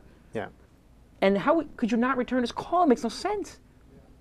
Like, what's to pay money? So anyway, you had the same experience I had, which is Akamai is a disaster. Yeah, we had that same experience with Akamai, with Limelight, with uh, at the Yeah. time VitalStream, which became Internap. We couldn't get anybody to return a call. So that was a huge indicator. As an entrepreneur, when you see a space that hot, when somebody can't take the time to call you back and take your money, I'm like sitting there waiting to give them my, my Right. clams, right? And uh, I'm just like, wow, this is crazy. What are we doing with this video website? We can't figure out how to make money here. Right. Let's turn this around and be, go back in infrastructure. Yeah. We, we were in web hosting before, so we really felt good about that. And to your point, we looked at the space and we said, this is a commoditizing space. It's highly competitive. What, you know, what can we do to make it different? And I'm telling you, it was the most basic uh, business sort of solution. We took Web 2.0 technology, the ability to actually go log into a web control panel, click a button, and provision an account. Something that we assume we do all day. You do it all day long with a Gmail account. Sure. Or anything, right? By provision, you mean sign up, To sign up, to set up. to turn on. yes. To Yes. enable, to empower. Yes, exactly. So uh, that idea is something that the CDN space just hadn't seen. Everything in the CDN space was like a, a telco. Right. You wanted to get something done, you had a fax Yeah, and order gonna be a in. backhoe. You got to call the guy. To six schedule weeks something. of contract Yeah, yeah, yeah. negotiation, and then the cable guy shows up between four and eight. You know, it, it was crazy. And so we were able to literally just apply standard Web 2.0 practice to a very mature industry, and that alone made us the most modern CDN This is a very important point you're bringing up. I'm glad you're bringing it up because if you make things difficult for your customers, Hmm. they will hate you. And if you make it smooth and easy, they will spend more time and money with you and love you. yeah. And I'm I'm not going to harp on Akamai too much here because I don't want to beat them up. But the craziest thing about that was it's like there's a price that this stuff costs. We finally get the salesperson, we negotiate with them, we get a contract. He doesn't call us back. Weeks later, we finally get in touch with him. We're like, we're ready to do something, maybe. And he's like, yeah, okay, well, let's get a contract. Like, well, we have the contract you sent. Punchline? That contract's no longer valid. we have to start over okay, what needs to change? Oh, everything's got to change, and I'm going to call you back, and the whole thing got referred. I went crazy, and I thought it was my people. So I'm going crazy on my people. What are you? What you guys can't just order something? I mean, I can go to the store and get a thing of milk, and I go crazy on my people about it. Mm. The reason Google has done so well isn't it because it's so self-serve? It's that easy. People don't want to talk to a salesperson. People hate salespeople. I mean, you think about how hard it is to set up an Exchange server to get your email running for your company, right? Sure. We use Google Apps. We use Google Mail, right, for our company. It took me to go set it up. Yes. It took me five minutes, and I was done. And I had set up email addresses for 25 employees. Yes. right when we this is Yes. three years ago. Yes. And uh, it, it's just too easy, too easy. Now, you raised money for the company, a couple of rounds. Who are the investors? So Steamboat Ventures is the uh, sort of investment affiliate, venture affiliate of the Walt Disney Company, Ah. and they invested in the company in uh, fall of 07. Ah. And before that, you know, all the first millions of bucks was mine and my partners, and we built uh, we built the company really with a couple of angels as well. Yeah. And uh, we are actually a very well capitalized company, but uh, sort of undercapitalized compared to our competitors. We we raised less than about 10 million. Uh, got a Yeah. few million of uh, debt financing from uh, Silicon Valley Bank Yep. and we were able to make a profitable company that is the number three ranked CDN in the space with over 1,200 customers. And uh, Akamai and Edgecast are the only two profitable CDNs, and uh, I think there's 40 CDNs out there in the Right. marketplace today. Why are there so many? Why did so many people go into this business? It, it doesn't make sense to me that there's 40 of them. Why, why don't they, some of them go out of business? Uh, a lot of them have gone out of business. Ah, so there is, but there has been a shakeout. There's been a shakeout. There's been consolidation. There's been attrition. Uh, there's a company called Panther Express that blew, blew through like 20 or 30 million bucks of venture capital in two years. Yeah, Kevin, a friend of mine, Kevin Ryan, did that, and Yep. he was doing Gawker's stuff. And what? They just unplugged it, or is it still going? Or Uh, they sort of sold out the assets to Ah. CD Networks, which is a CDN out of Korea. Ah. Which, yeah. And so there's some well-financed guys in the space. Uh, to answer your point, the main drivers, I think, have been video. So video has driven the bandwidth consumption on the internet uh, phenomenally. If you think of uh, this is something interesting to do. There's, uh, are are you familiar with the concept of a peering point or an exchange, peering exchange? peering exchange. Now, I think I do. Let me see if I get it right. This is where you put a server like on Verizon's network or Time Warner's network so that you get closer to the Time Warner users. Sort of. And so what happens is, that if you think of this Verizon, AT&T, MC, all the various uh, carriers, they need to find places where they interconnect. If you think of it like a freeway, it's just the exchange point. Oh, I see. connect. Okay, so where Verizon connects to AT&T connects to Time Warner. Exactly. And uh, there's sort of centralized points. You've probably heard of MAE East and MAE West. Uh, I have. Are, What is that? those are actually sort of when the, I guess the uh, military originally sort of started the basic internet, internet backbone. ARPANET. Yes. Those were the primary uh, congestion or exchange points where the internet sort of interconnected. And those have proliferated. And so now what you have is maybe, you know, 15 of these locations in North America, you know, 10 of these locations in Europe, and, and, and additional locations around the world. And so uh, these are where uh, everyone sort of interconnects. And if you take a look at uh, some of these are public exchange points, some of them are like uh, uh, public orgs. Uh, there's one called Am- Am- Amex, AMS-IX, and there's another called DE-CIX. Uh, one's in Amsterdam, one's in Germany, one's LINX in London.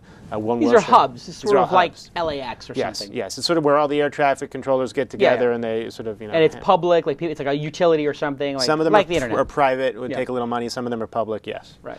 Uh, so if you look at the Amsterdam Exchange, which is one of the central hubs in Europe, uh, uh, if you look at the volume of traffic that just goes across that exchange over the last year, January 1st, 2009 to January 1st, 2010, the total volume of traffic has doubled.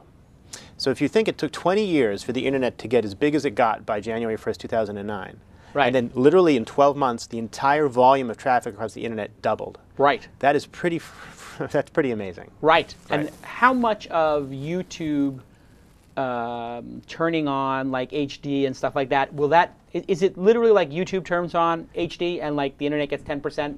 It, it is. It is a, a number of percent goes up when the internet uh, when YouTube does something. So, um, why hasn't the internet slowed down? Slowed down. I mean, people keep saying. I, I hear Mark Cuban say, like on his blog, like the internet can't handle you know HD streaming. He's been saying for a long time, and this you know it's the whole thing's going to come to a crawl. Yet it seems that you know there's 500 people watching us right now live streaming. It's pretty good quality, and it's uh, people will download this and you know they'll download maybe 700 megabytes and there'll be 25,000 downloads of the show a week from now. What? Why isn't the internet slowing down?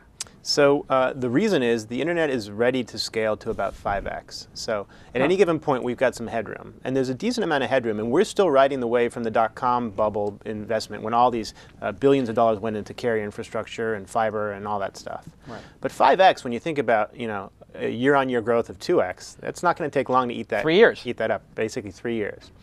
And so if you think Because it's compounding for those people who didn't understand. It's not five Indeed. years because this year doubles. It goes you know from two to four and then four to eight. exactly. It's going to get eaten up quick.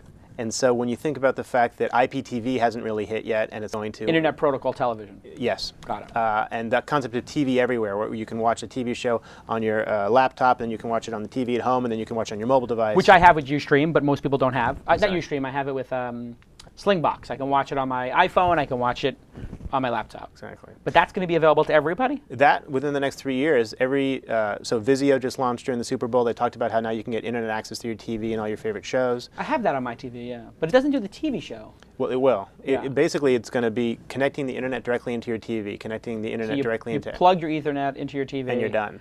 And you have Netflix on demand in your TV. Netflix on demand, every Hulu. satellite program you ever wanted, every you can navigate the web. And this is going to go over the internet. This is going to go over the internet. Can the internet, if all Americans, all of a sudden today, if I don't know, 20 million Americans watched Lost uh, over an internet connection today, would the internet be able to handle it? Absolutely not. No way. 10 million? Uh, no. 5 million? No, because it's on a single provider. So um, Oh, I it- It, needs to be much better distributed. So we're not ready for IPTV at all. At least not in HD quality with a large number of people doing it. Right. But luckily, So Mark Cuban is correct. This is not going to just all of a sudden work itself out. well, there are vendors like us uh, who are sort of the band-aid to, in the short term, allow this to happen. Right. Because of the caching and streaming technology we offer. And then in the meantime, the tel- telcos are figuring out where they're going to get the money to invest in additional infrastructure. Right. So they're deploying caching servers in their own networks to try to push Oh, uh, really? out the content. Oh, yeah. So the AT&Ts and the Time Warners are going to have CDNs of their own and cache stuff? They have internal CDNs, and it's the concept is called a transparent cache, where what they do is they take popular content that's on their network, and they just take that popular content and they keep copies of it at the edge of their network, so they don't have to use the backhaul to carry it across. So if country. somebody's loading a Mahalo page, you know, like we have a page today that's getting loaded a lot, like Olympic opening ceremonies, and are you telling me that if we change that page and it's at the edge of Time Warner, it's not going to be changed for Time Warner users? no, it gets changed. Oh, so they know how to time it out or something? Right. So when you think about how a web server work, uh, it reads the HTTP headers, Uh-huh. and it's HTTP compliant. So whatever the header tells it to do, it does. Ah. And so you can really never worry about uh, your old content being on there. The, the main issue is making sure that uh, you know you're using a CDN and making sure that everybody else is using a CDN. Now, what happened to this multicast technology? I remember back in the day, people said, oh my God, you can never stream over the internet. This, I'm talking 98, 99. This is not going to work. There's not enough bandwidth for every single person to be selfish and do streaming video. Of course, Ustream is working today. Right. But they said very clearly Ustream would not work in because there wouldn't be enough servers. The servers would crash. If you did video serving like on a real player, I mean, you'd get like 32 people per server or something like that.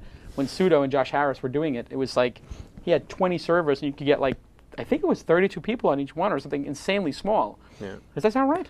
Yeah, it's the protocols have changed. Yeah. So you don't have to use real server. You can you, Right. know, you can use all these different other technologies. Now, what about the concept of having multicasting or, you know, like the the Olympics are streaming over the entire network and your computer just taps into that one stream mm-hmm. live as opposed to we each grab it from the, a server and get a ded- dedicated connection going down. Is that kind of multi is it called multicast? Is that the correct way to say it? Yeah, when it's done over the ISP or over the carrier, it's multicast. Ah. Uh, but that's that's not what an over over the top provider like us uh, like Would we do. use. Right. So if we don't control the actual network ourselves. Right. We're not able to do multicast. Right. Uh, we're just doing. diff- multicast exist today or Yeah, yeah. It's it's a, it's a it's a protocol that's used within carrier infrastructure. So when would I use that when I'm look at CNN or something? Uh, actually, if you're going to like ESPN 360 and you're Uh-huh. on network, and that's something that let's say a service provider like Verizon's offering dedicated, Mm. they could use multicast for that. Got it. Interesting. Uh, and China blocking a lot of things. Iraq, no, Iran blocking Gmail. Uh, how? I mean, people consider the internet America. We still control it with ICANN, I guess, to a certain extent. We have a lot of influence over the internet. Certainly. Um, I mean, we created it. In fairness, is that is that fair to say that we created it? Well, we've dominated it. I whether, yeah, I think it's a.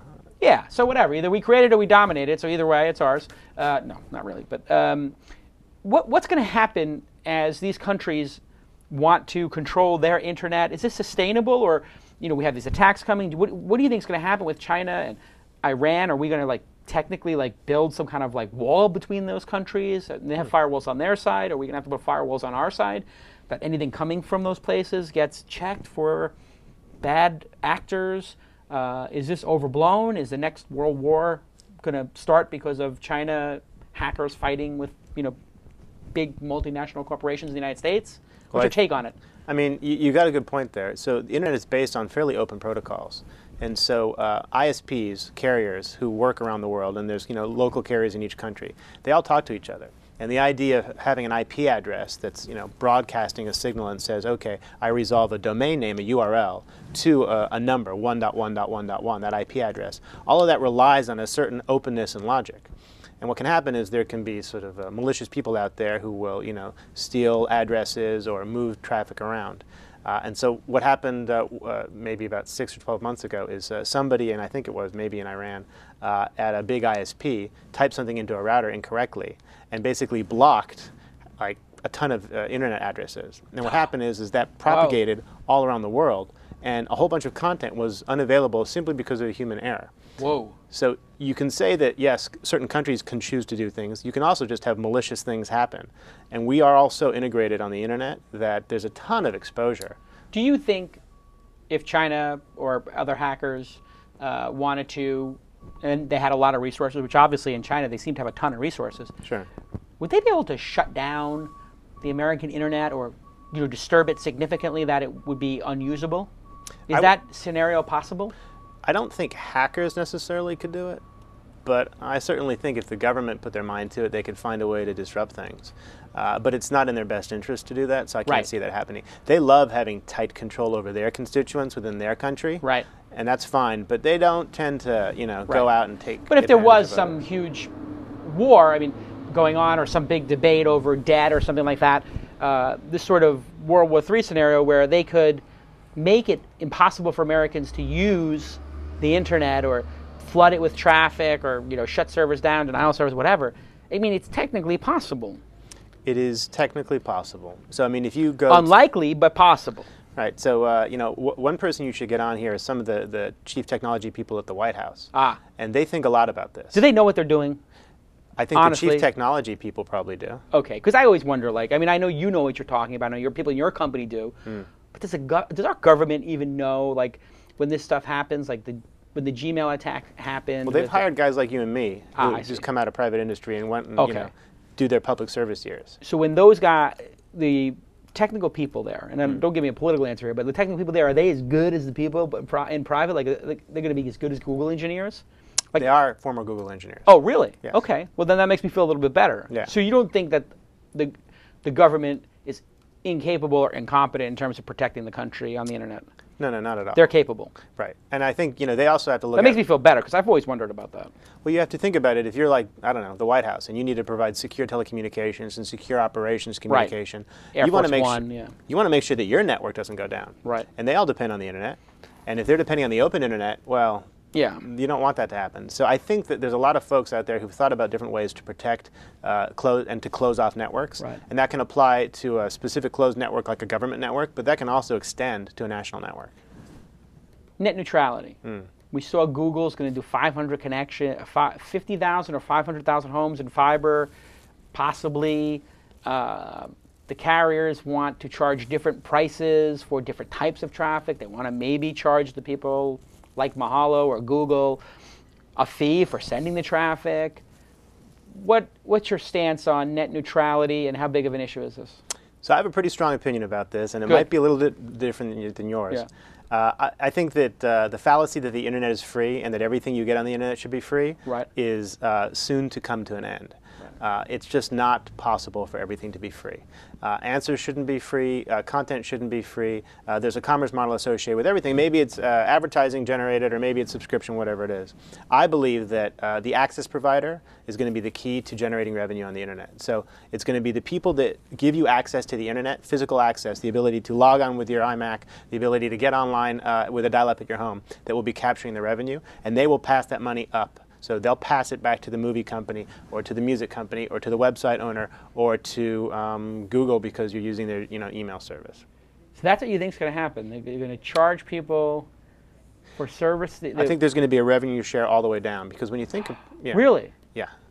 If you talk to most of the carriers, they're all they are all working on deals like this, where they're trying to figure out how to pay for the enormous investment in infrastructure to support everybody's Well, great aren't they charging people to for this access? Like they charge me for access at home. yeah, but they're underwater on that.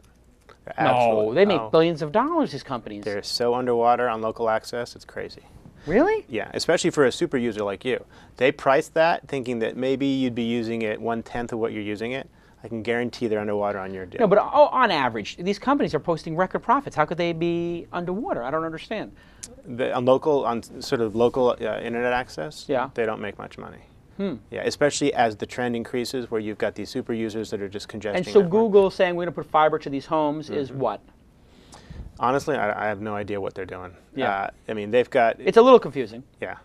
But you know, they started a whole lot of different businesses that are confusing, right? They got into print ads for a while. They got into billboard ads for a while. I think they like to explore and experiment, and Right. they learn something from it. You know, uh, you know, Big Brother gets stronger every time he figures something out. You mentioned before that you uh, raised ten million dollars or something, Yep. and that you also had a loan or, cre- uh, you know, a line of credit with Sure. Silicon Valley Bank. Yes. Uh, as an entrepreneur, why would you do that instead of raising capital? Obviously, you can raise a bunch of capital Hmm. uh, pretty easily since you're a seasoned entrepreneur. And how does it work? Is it is it like venture capital, this, this loan, or is it something that I mean I know, but I'm asking for the audience. Sure. So there's different- Explain different. what that explain what that is.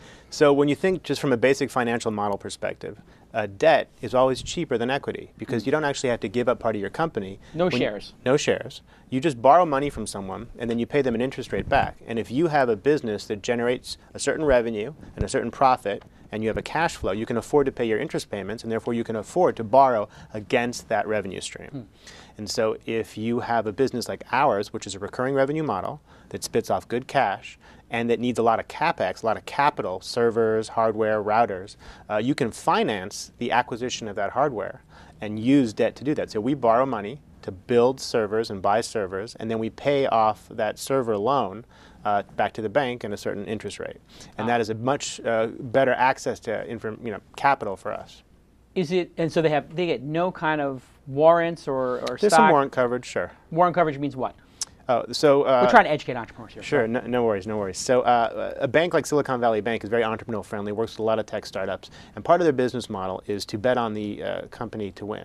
And so, they also want a little taste. They want some stock. They the wanna get a taste. They want a taste. And you so got to give them the vig. They give them the vig. Yeah. So they want some stock options. Uh, yeah, so they're warrants, which are basically options that are exercisable, uh, and they get some stock for loaning you the money. So would this be one percent of your shares, half a point, or a quarter point? What do you think? It, not in your case, but in general, what would what would Silicon Valley ba- want to own? Is it is it just a number based on how, how do they come to that number? Sure. Uh, it's a risk profile. It depends who's invested in the company. So obviously they're going to want a bigger piece if it's a higher risk, and Ah. if it's a lower risk, they'll take a smaller piece. So Disney's an investor. They, don't, you know, they, they I think Disney's probably good for it. I'm pretty sure they are. Why did Disney invest in your business?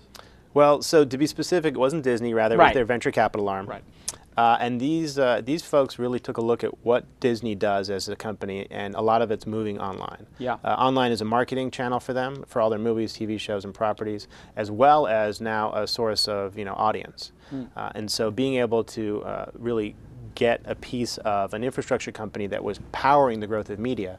uh, We're the only company like ours in Los Angeles, here in Hollywood. Right. Uh, would just make total sense to them. I agree. Let's bring in Lon to do the news. Uh, Lon, are you here with your news?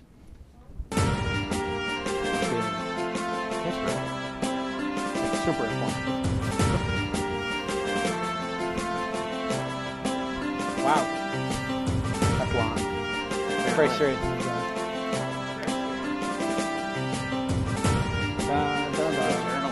Yes. Hi, Lon. Why did Di- Disney sell blank? URL removed. I don't know what they're talking about in the chat room.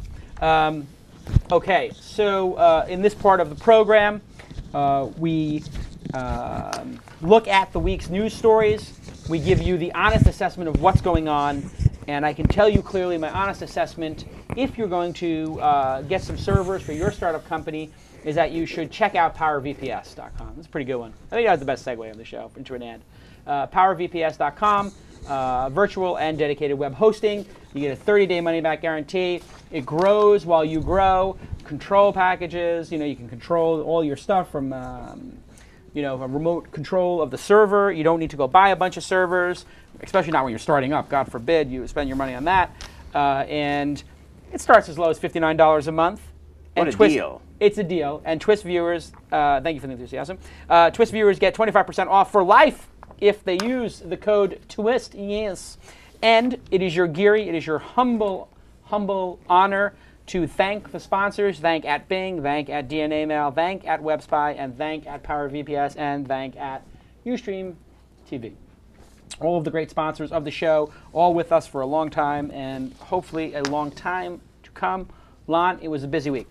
It was a, it was a crazy week actually. More more news this week I think maybe any other week. Great. I've been working here. So we'll have four hours of show today. Yes, it'll go a little long. Uh, obviously, first up, Google Buzz. Google went social this week with the release of Google Buzz, an expansion of Gmail that marries the threaded conversation format with all kinds of interactions you would usually do on social sites like Facebook or Twitter. Jason, one of your first posts on Buzz claimed that the service had cut Facebook's value in half. And Yes. you later provided a list of features Twitter must introduce in order to compete. A few days in, are you still as bullish? I am absolutely bullish on this product. It is incredibly well executed, and I will go through why. Uh, number one, it's faster than Twitter and Facebook. Those two products are dogs. They're slow. Uh, they freeze up a lot. Uh, 50 seconds to log into Facebook. We've all experienced that. Um, it is um, very feature rich, and everybody who's involved in your email box is, by definition, pretty high quality and related to you. So when I post to Buzz, the first day I had 2,000 people. By the second day, I had 4,000 people, and I just saw that I'm the number. I think you're number five right now. I'm number five with 4,500 Yeah. viewers. Uh, and when I give away a, you know, a, a Tesla Model S for being number one, then I'll, I'll definitely be number one. Um, anyway, uh, so many people following me, and I would post something and get 100 likes and 250 comments. I have never seen in a social network intelligent, uh, real comments at that pace ever. Ever. It Yeah. makes Facebook look like a ghost town. Facebook has 400 million people, and it looks like a ghost town compared to Buzz. Now, Buzz, there are criticisms. Maybe this product should not be integrated with your um, with Gmail Email, yes. The people might like it. yeah. Yes, and then there, are, but the privacy concerns are a little bit overblown. Like people are sort of saying, like it's exposing your whole email box. That's not actually true, uh, and you can put your thing on private. So there are tools, but in fairness to them, and I don't want to. I'm not like I am a Google fanboy. I, I do like their products. I think they're well done, uh, and the price is always right with Google, free.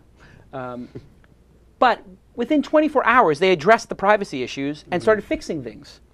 Facebook waits until they have 10 lawsuits to fix anything. Uh, James, have you played with it? No. Okay. Tyler? Yeah, I played with it. I, I think it's interesting from within Google's own perspective because now they're going to have access to a lot of this data that they can then leverage in their search results. Wait, wait, say it again. I'm saying Google was sort of at the whim of Twitter. Right. It had all of this real-time data flowing through their system. Okay. And they had to buy a line into it. Right. Now they're going to have their own sort of database of flourishing updates and everything that they can then push into their search results if they want to Ah. start doing some. This is a quality insight. Inside from Tyler. You know, last week was a zero insight episode, and people Yeah. are The going first- cra- the first the ever. first, and people are going crazy. Insight free episode. Tyler, you should like to give a couple of insights, but it's a very good insight because they're paying for the feed now. They no longer have to pay for the feed, and um, yeah, it, Well, it's is significant. is that? I mean, there is nothing in Google Buzz to indicate that this is going to be something they're going to push into search engines. I mean, would that be another concern? No, they don't have to push the search engine. But if they see that this video or this blog post about if if there's five blog posts about the uh, luge right, the Olympic the Olympic luge luger who athlete, died, yes. which is so sad, and I have a whole bunch of comments on that. It's a side thing, which Right. if we ever do Jason Nation and just talk on, about other stuff outside of technology, Mm-hmm. I would go off on. But um, that which five links are getting the most comments on them and are retweeted the most or rebuzzed, Mm-hmm. whatever rebuzzed or liked? Just that would be the order they should come up in Google News if people have commented on that and they have voted it up, eh, ergo, it's the better one, Right. With, with few exceptions. They're getting the the algorithm just got a hell of a lot smarter in a social Right. sense. Yeah. Correct, Tyler. This is the big insight. Yeah. And this is correct. Um, this product will um, devalue, and, and the real purpose of this on a gangster level is Facebook is about to announce, and this is another one of these things that I say on the show that nobody knows, that somebody could make into a big story, um, but you know the journalists don't seem to want to give me credit for all the insights we have on the show. But Facebook is working on Facebook Sense, basically their version of AdSense. It is not only going to exist on Facebook; it is going to be available on sites that have Facebook Connect. Right. So on Mahalo Answers, instead of putting Google AdSense, we could put Facebook Sense. When they build their big ad network, they will know not only the keywords associated with that page, they will know all this information about the person. Mm-hmm. Because they have behavioral data. So they will know that Tyler has been in Japan, has 20 friends in Japan. Yeah. And so when Tyler is doing a search on an airline or, or, or something, they could include that data in the search result and in the, in the ads rather. Hmm. So if he's going to, if they're going to show a cookbook, they might as well show a Japanese cookbook to him because he's that's his second biggest network. Right. You get the idea. Yes. And this is a huge threat to Google. So what does Google do? They commodify, commoditize it. They make it free and available here in Google, uh, in Gmail. Just like Google tries to commoditize Google, um, Microsoft Word and Microsoft Office, and even Microsoft's browser and Microsoft's operating system. Just like Apple, you know, everybody's trying to co- commoditize the other thing that the person has that makes their money. Yes. Google Android is meant to cut, is meant to ankle. Let's just use the word that is accurate. Kneecap. You understand what I mean? I do. Take take out the other guy.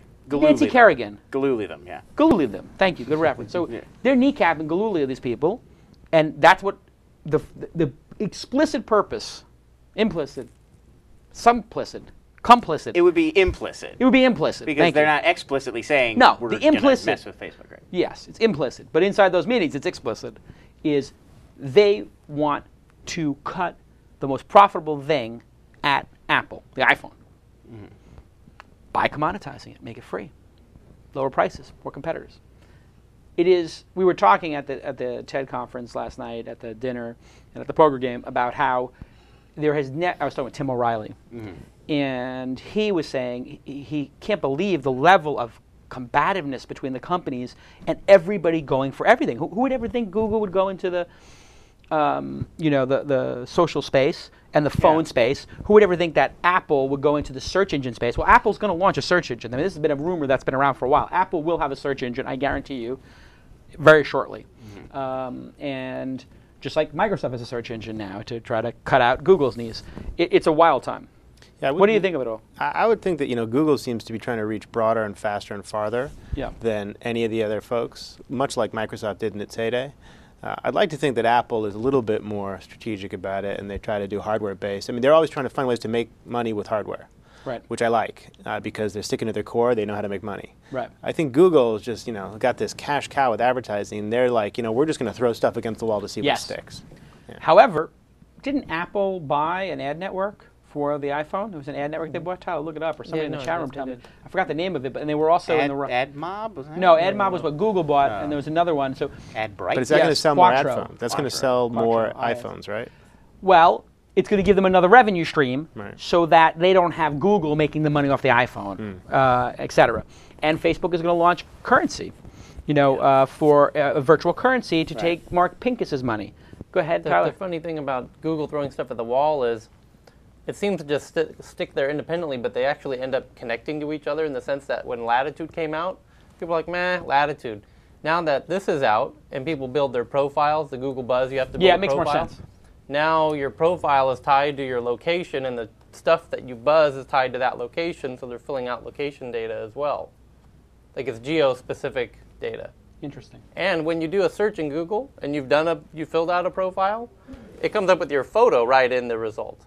As opposed to every other result related to you doesn't have your image of yourself right next to it, right? In a Google profile sense. Right.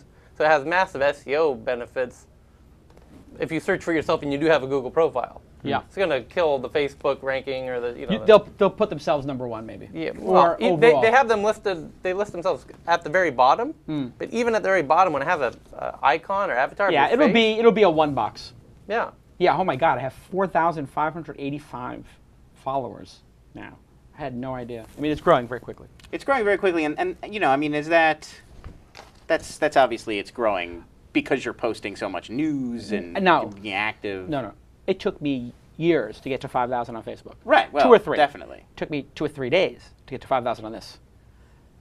That's significant. Well, the but I mean, don't you think a lot of that is just because when they launched, they just had hundreds of thousands of users? I mean, automatically, you're a user because you have Gmail. I know that. Yes, that is the reason. Right. Which makes it no less significant. So we agree. Yeah. It's significant. Whatever, however they did it, it's significant that I they have already caught up to Facebook. right. Yeah. What do you think is driving the responsiveness that you talked about before? Is it the ease of use? Is it the fact that everyone already uses Gmail? It is because there is a large contingent of people who can't be bothered to go log into a social network. We all know them. They are us. I mean, how often do you log into Facebook? You know, like Rarely. I, I can't go. I, I, the only reason I, I email stuff to my Posterous account, which then sends it to Twitter, my blog, my Flickr, my MySpace, and I don't actually log into any of these services in general. Uh, so you know, Facebook is for me to market what I'm working on. That's it. We actually The discussed market, that. Facebook's a marketing channel for me.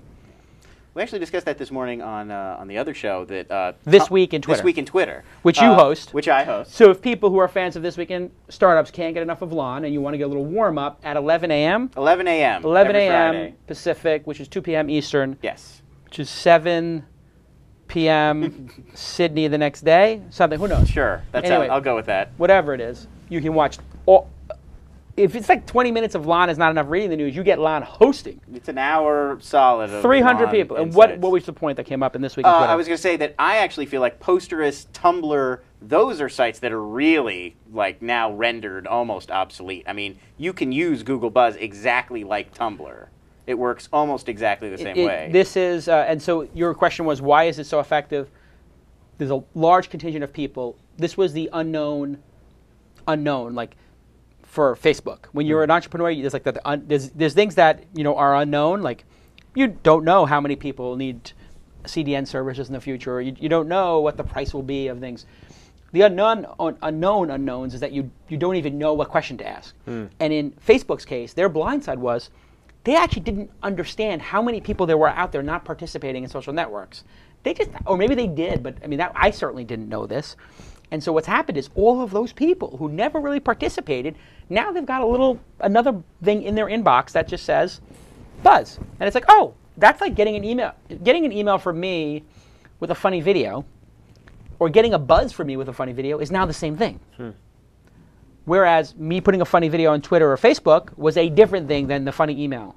So basically, just taking the social network updates and the concept of inbox and making it one means people still live in their inboxes. We all do. Yeah, and it's it's very sticky too because you see that number update every time you log Oh log my in. God, You see like there's 85 things waiting for you in your I your can't use it because what happens to me is um, it overwhelms your inbox. I would imagine. my inbox is absurd. And I, I use Google Apps, but uh, can we pull up my um, email box for a second here? Uh, my computer? Well, and it what you'll see here is Yeah. look at that. That's from 1 a.m. So where's the buzz part? all of these items with the little icon, Yeah. those are buzz stories. So when you see that icon, that's what like basically that's a Facebook story now in line yeah.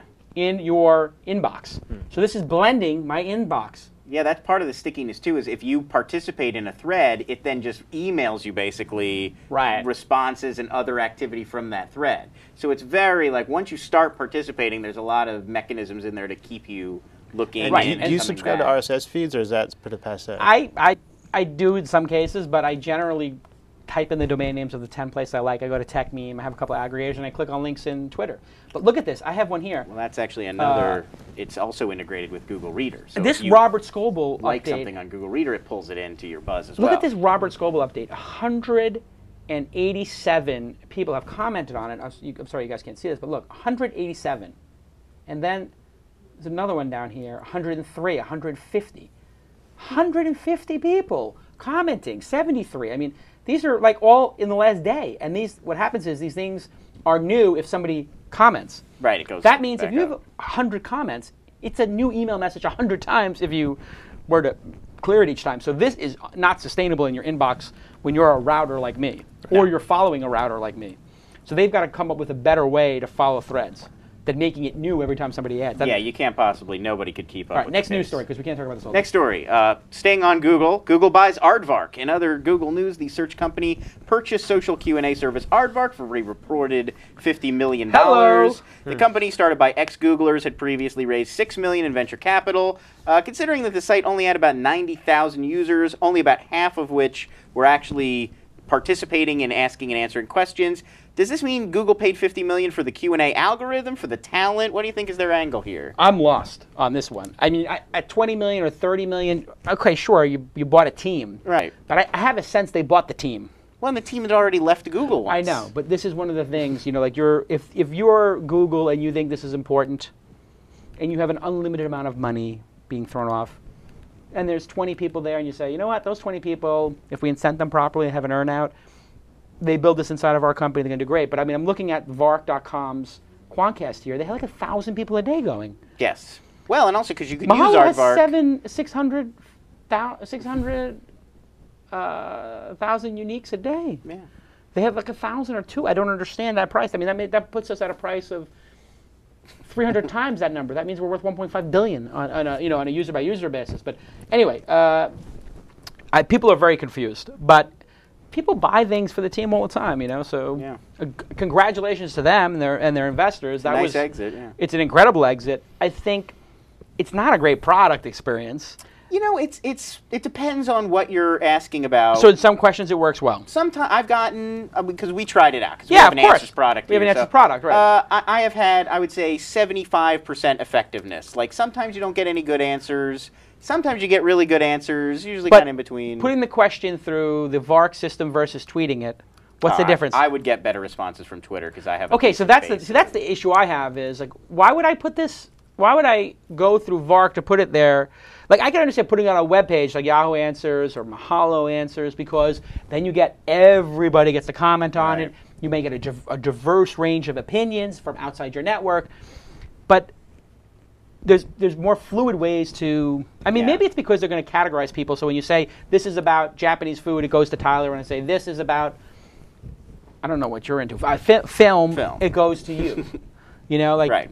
But I would rather just tweet it and have you both, you Well, know, ask people, about film. To be fair, a lot of Twitter users don't have the kinds of follower numbers where you can do that. I mean, if you only have 20, 30 people following you, you may then not have you're only going to have 20, 30 people in your network on Vark. true. That's So true. I mean, it's, it's going to mirror it. So anyway, congratulations to them. I'm not going to play or hate, um, and I do think that they have some interesting features in there that will obviously, if they're really good, will consider put in Mahalo. So we've had lots of discussions here about adding them to. We definitely have. I mean, they've, they've been somebody we've watched here. Yeah, and we've we have things. always said we you know we have been categorizing what answers people give in certain categories, and we've been waiting like, hey, when do we turn this on to sort of show who's an expert in which category, Mm-hmm. and should we route questions, which Yahoo does not well. No. So I think they do routing probably better than anybody. Yeah, their their algorithm of matching like people to questions Right. is more effective than anybody else who's done it to Right. date. So, congratulations and to them. the site Uh, lives on. You could still use it, and it's in Google Labs now. Right. So now it'll be like somehow connected. Maybe we'll get connected to Buzz. Maybe it'll be part of Buzz. a lot of people were thinking that online that I read was that it's going to have something to do with. Buzz My now. guess is like Dodgeball and other acquisitions. It's it's probably going to have a hard time getting attention inside the organization. It's Yeah. very hard inside a big organization like that. So I think for them, it's it's a what it signals to me is that the entrepreneurs didn't really believe in the idea. You know, because if they really believed in it, why would they sell it so quickly? And maybe they need maybe they need cash. I mean. I mean, Again, people said the same thing about me with Weblogs Inc. But A lot of cash. if people offer you a disproportionate amount of cash, but these guys were Google guys, so they had money already, so it doesn't make any sense to me. Like, why would you sell so quickly? Build it for another couple of years. It's The still re- a pretty crazy valuation for what they've done. I guess it's disproportionate, and that's maybe maybe that's the reason it's disproportionate is because the only way to get those guys from to not do it themselves is to give them a disproportionate reward. At 25 or 35, maybe they wouldn't have done it. Yeah, apparently in December they were offered 30 and they didn't take it. Yeah. Right. So that was so maybe they're paying like I think 30 million dollars to buy a startup, you know, for technology, 20 30 million dollars to buy a startup based on the technology and team is a reasonable price for a Google or Microsoft. It's reasonable. 50 is not. So maybe what these guys did was they got Google to make an unreasonable do an unreasonable deal. Which people said I get, had, you know, uh, Weblogs Inc. was an unreasonable deal because it was reportedly 30 times forward-looking revenue or something like that. Uh, so Yeah, so that, that means they got a premium of 50 cents on the dollar. So instead of getting 30, they got 50, got 40% more than they should have. Congratulations to them. Good for them. That's awesome. Next story. Yes. Uh, we have a new entry into the Deadpool this week. Wah, wah. Veoh. Streaming Bye-bye. video site Veoh enters the Deadpool. The company will let go of its remaining workforce and may file for Chapter 7 bankruptcy protection. Though similar to YouTube in its wealth of user generated content, Veoh also featured a selection of network TV content and some movies. The site debuted in beta in March of 2006 and received about $70 million in venture capital over the years from investors including Spark Capital, Goldman Sachs, Time Warner, and former Disney chairman Michael Eisner. Huh. Site had been looking for a buyer but had trouble due to an ongoing legal dispute with Universal Music Group. So, where did all of these, I mean, these are not sort of fly by night investors, these are major venture capitalists. Where did they all go wrong in online video? How come they couldn't figure it out? Well, let me just say that we should play the Deadpool uh, Jingle? graphic. There we go. That was a really fecund, disgusting Deadpool.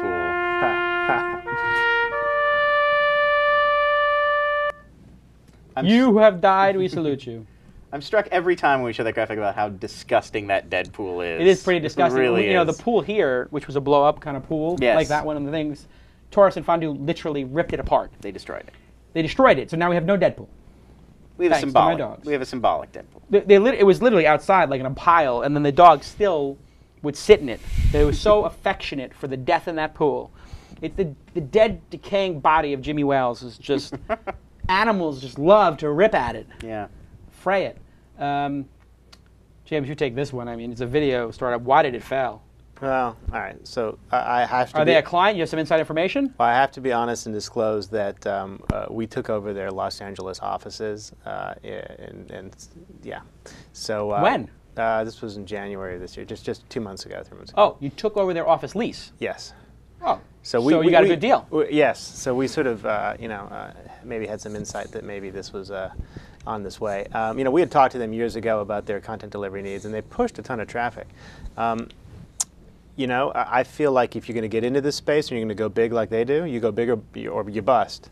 Um, I'd argue that you know YouTube could have gone the same direction as these guys did if uh, you know Google didn't come along. So uh, there is no clear revenue model in massive video delivery online yet.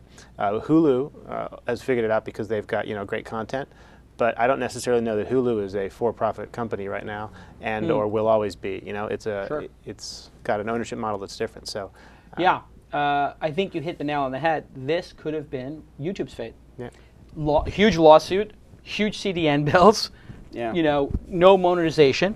Veoh Uh, actually had some early advantages against YouTube. The quality was better on Yes. Vimeo. They had Yes. a P2P solution. They had Yeah. a whole bunch of things going Yeah. for them. It was Uh, I, uh, too.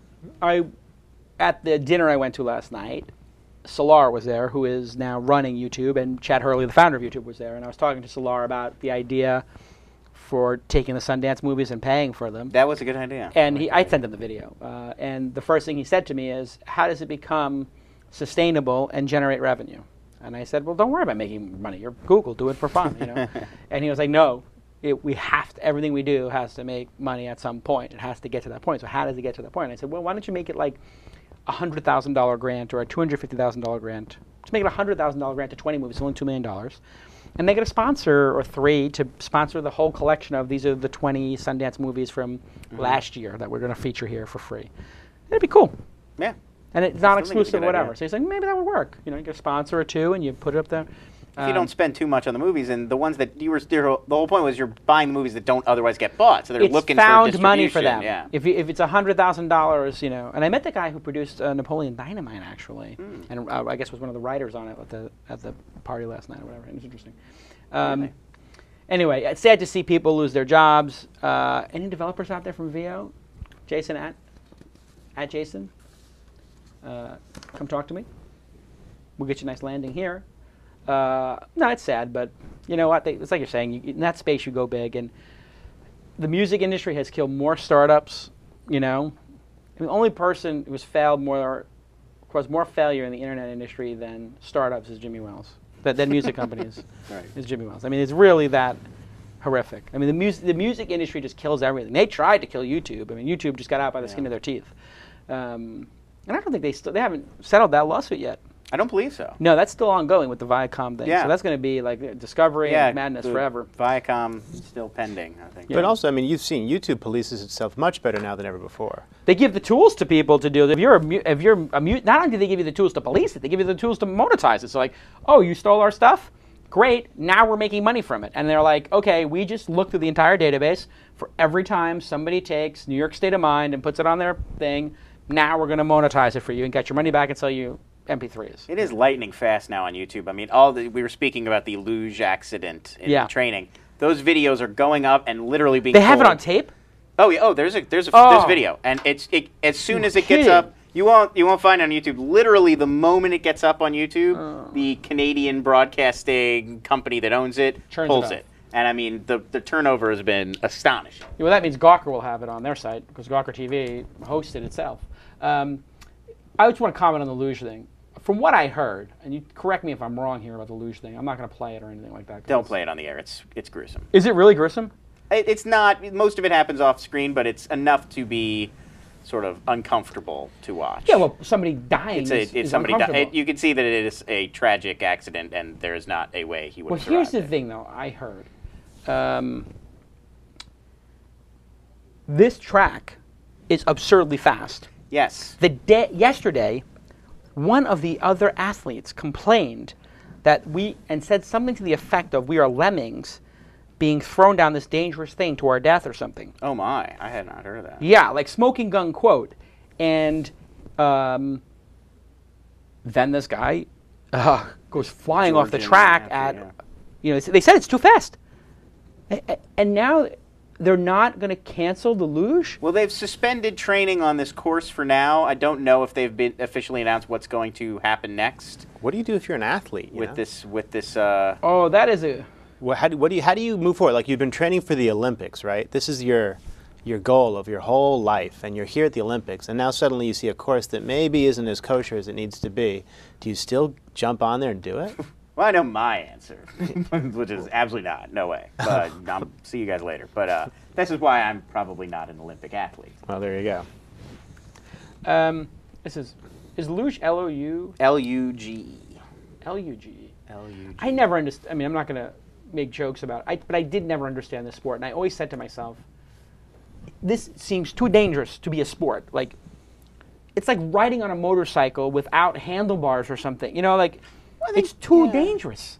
It's thrilling. I can only imagine. Right. I'll tell you, uh, one thing, I'm about to say. this will like be- extreme sport. It's the adrenaline rush. Yeah. Jumping out of a plane's silly, right? But people do it, and they do cartwheels and they do crazy stuff, and there you go. Yeah, I guess so. I mean, I, I don't know if there's been a lot um, of deaths in the sport, but you know, pe- you tell people you start a company, people are like, "I can't believe you do that. right. You're crazy." yeah, that's true. yeah. Public So- speaking too. That's isn't that. Oh, People are more afraid of public speaking than death, isn't that? What Or being naked in public. Somehow so. people think that's strange. Um, next story. Next story. Okay, moving on. Uh, I'd like to end the show by 3.30. We started at 2.30. It's two hours. oh, oh 1:30, my. it's So two hours one. So one more. Uh, well, we can do MySpace. It's a pretty big story. I think we can get it in in three minutes. Yeah. Uh, and I, I have a lot of inside information Yeah. on this, obviously. Major shakeup at MySpace this week. CEO Owen Van Natta stepped down as CEO a mere nine months after joining the company. He's being replaced by new co-presidents Mike Jones and Jason Hirschhorn. GigaOM has reported that the departure was due to conflicts between Van Natta and News Corp's head of digital operations, John Miller, and has essentially declared MySpace a dead property. Their headline is RIP MySpace. Uh, this comes on top of news from TechCrunch that Tom Anderson, who was almost everyone's first MySpace friend, is no longer assigned automatically to new user accounts and hasn't logged into the site since January 24th. So, is it time for us to throw MySpace into the Deadpool? No, it is not. I have a lot of inside information here, so I need to do a bunch of disclaimers. Okay. Number one, John Miller was my boss at AOL. Mm-hmm. John Miller is on the board of Mahalo. Yes. John Miller is an investor in Mahalo personally, and News Corp is an investor in Mahalo. I am very close to the situation. I know Owen not well. I know Mike Jones very well. Mike Jones's company, Userplane, was bought by John Miller as well in the same era. The companies that win in the internet space are the ones who have um, obsessive, compulsive determination to make the best product, not deal makers and business people. Owen Van Natta is a nice guy, I'm not going to say anything disparaging about him, but I think he would admit that he is a deal guy and a business guy, not an obsessive product guy. I don't know there's a list of products you could say that he personally built. He's the business guy you bring in to scale a business. They brought him in, and then they brought in two product guys under him. Hmm. The, and then you have John above him, and then you have Rupert Murdoch above him. There's too many layers of business management, not enough layers of product management. There was some tension there, from what I understand. I don't know all the inside Uh, stuff. Most of the blogs that I read, and I of course have no inside information, just Right. from what you read on the just a disclaimer: you have no I connection. have, just as I should do a disclaimer. Disclaimer, I don't please. know anybody involved in this story. Uh, from what I read on the blogs, it sounded like there was an internal struggle between sort of John Miller and the uh, News Corp side of things, Yeah. and Van Natta, who had a different direction in mind, yes, and there was sort of a power struggle. It there. was a mistake to put Van Natta in that position. Clearly. I think that everybody feels that. John, Owen, Rupert, and Mike Jones, and Jason Hirschhorn. All of them probably feel that was not the piece that they needed. They had a reason to do it, I guess. Probably they thought there was more business stuff going on, Mm-hmm. maybe doing the deal with Google to re up the thing. Maybe they thought he, because I think Owen was involved in some of that stuff at Facebook. Maybe they thought Owen, with his connections, would do all those business deals really well.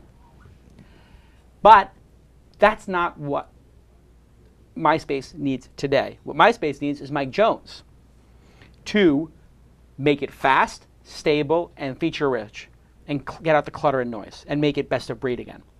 That is going to take a long time. Just getting it stable has taken six months, and to stop like the hemorrhaging of users, Right. just to get some basic functionality in there, like adding you know the ability to syndicate your tweets. Um, they need to make it a full-fledged product and catch up to Facebook, Buzz, you know, these things. And then they have to do something innovative. This is going to take three years. It's like doing a startup and a legacy, and you have to take care of this existing business at the same time. It's very hard. And it's all about product. The only discussions they should ha- be having there right now, forget about business stuff. That should be off the table. Forget about business stuff. Business will take care of itself if the product is growing. Number one, speed. Number one, stability. Number two, speed. Number three, features, which is what I always say internally at Mahalo. Keep the site up and running, mm-hmm. make the site fast, add features. And sometimes I switch the fast and the features, depending on you know like what we need to get done. right. Anyway, what are your thoughts?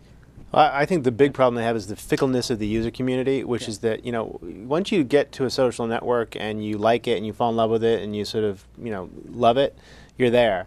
and then if it disappoints you and you move on and you suddenly fall in love with someone else, you don't want two girlfriends. You just you don't go back. I don't think you do at least. So to your point, I think they have to take a huge leap forward. They can't just have an incremental improvement.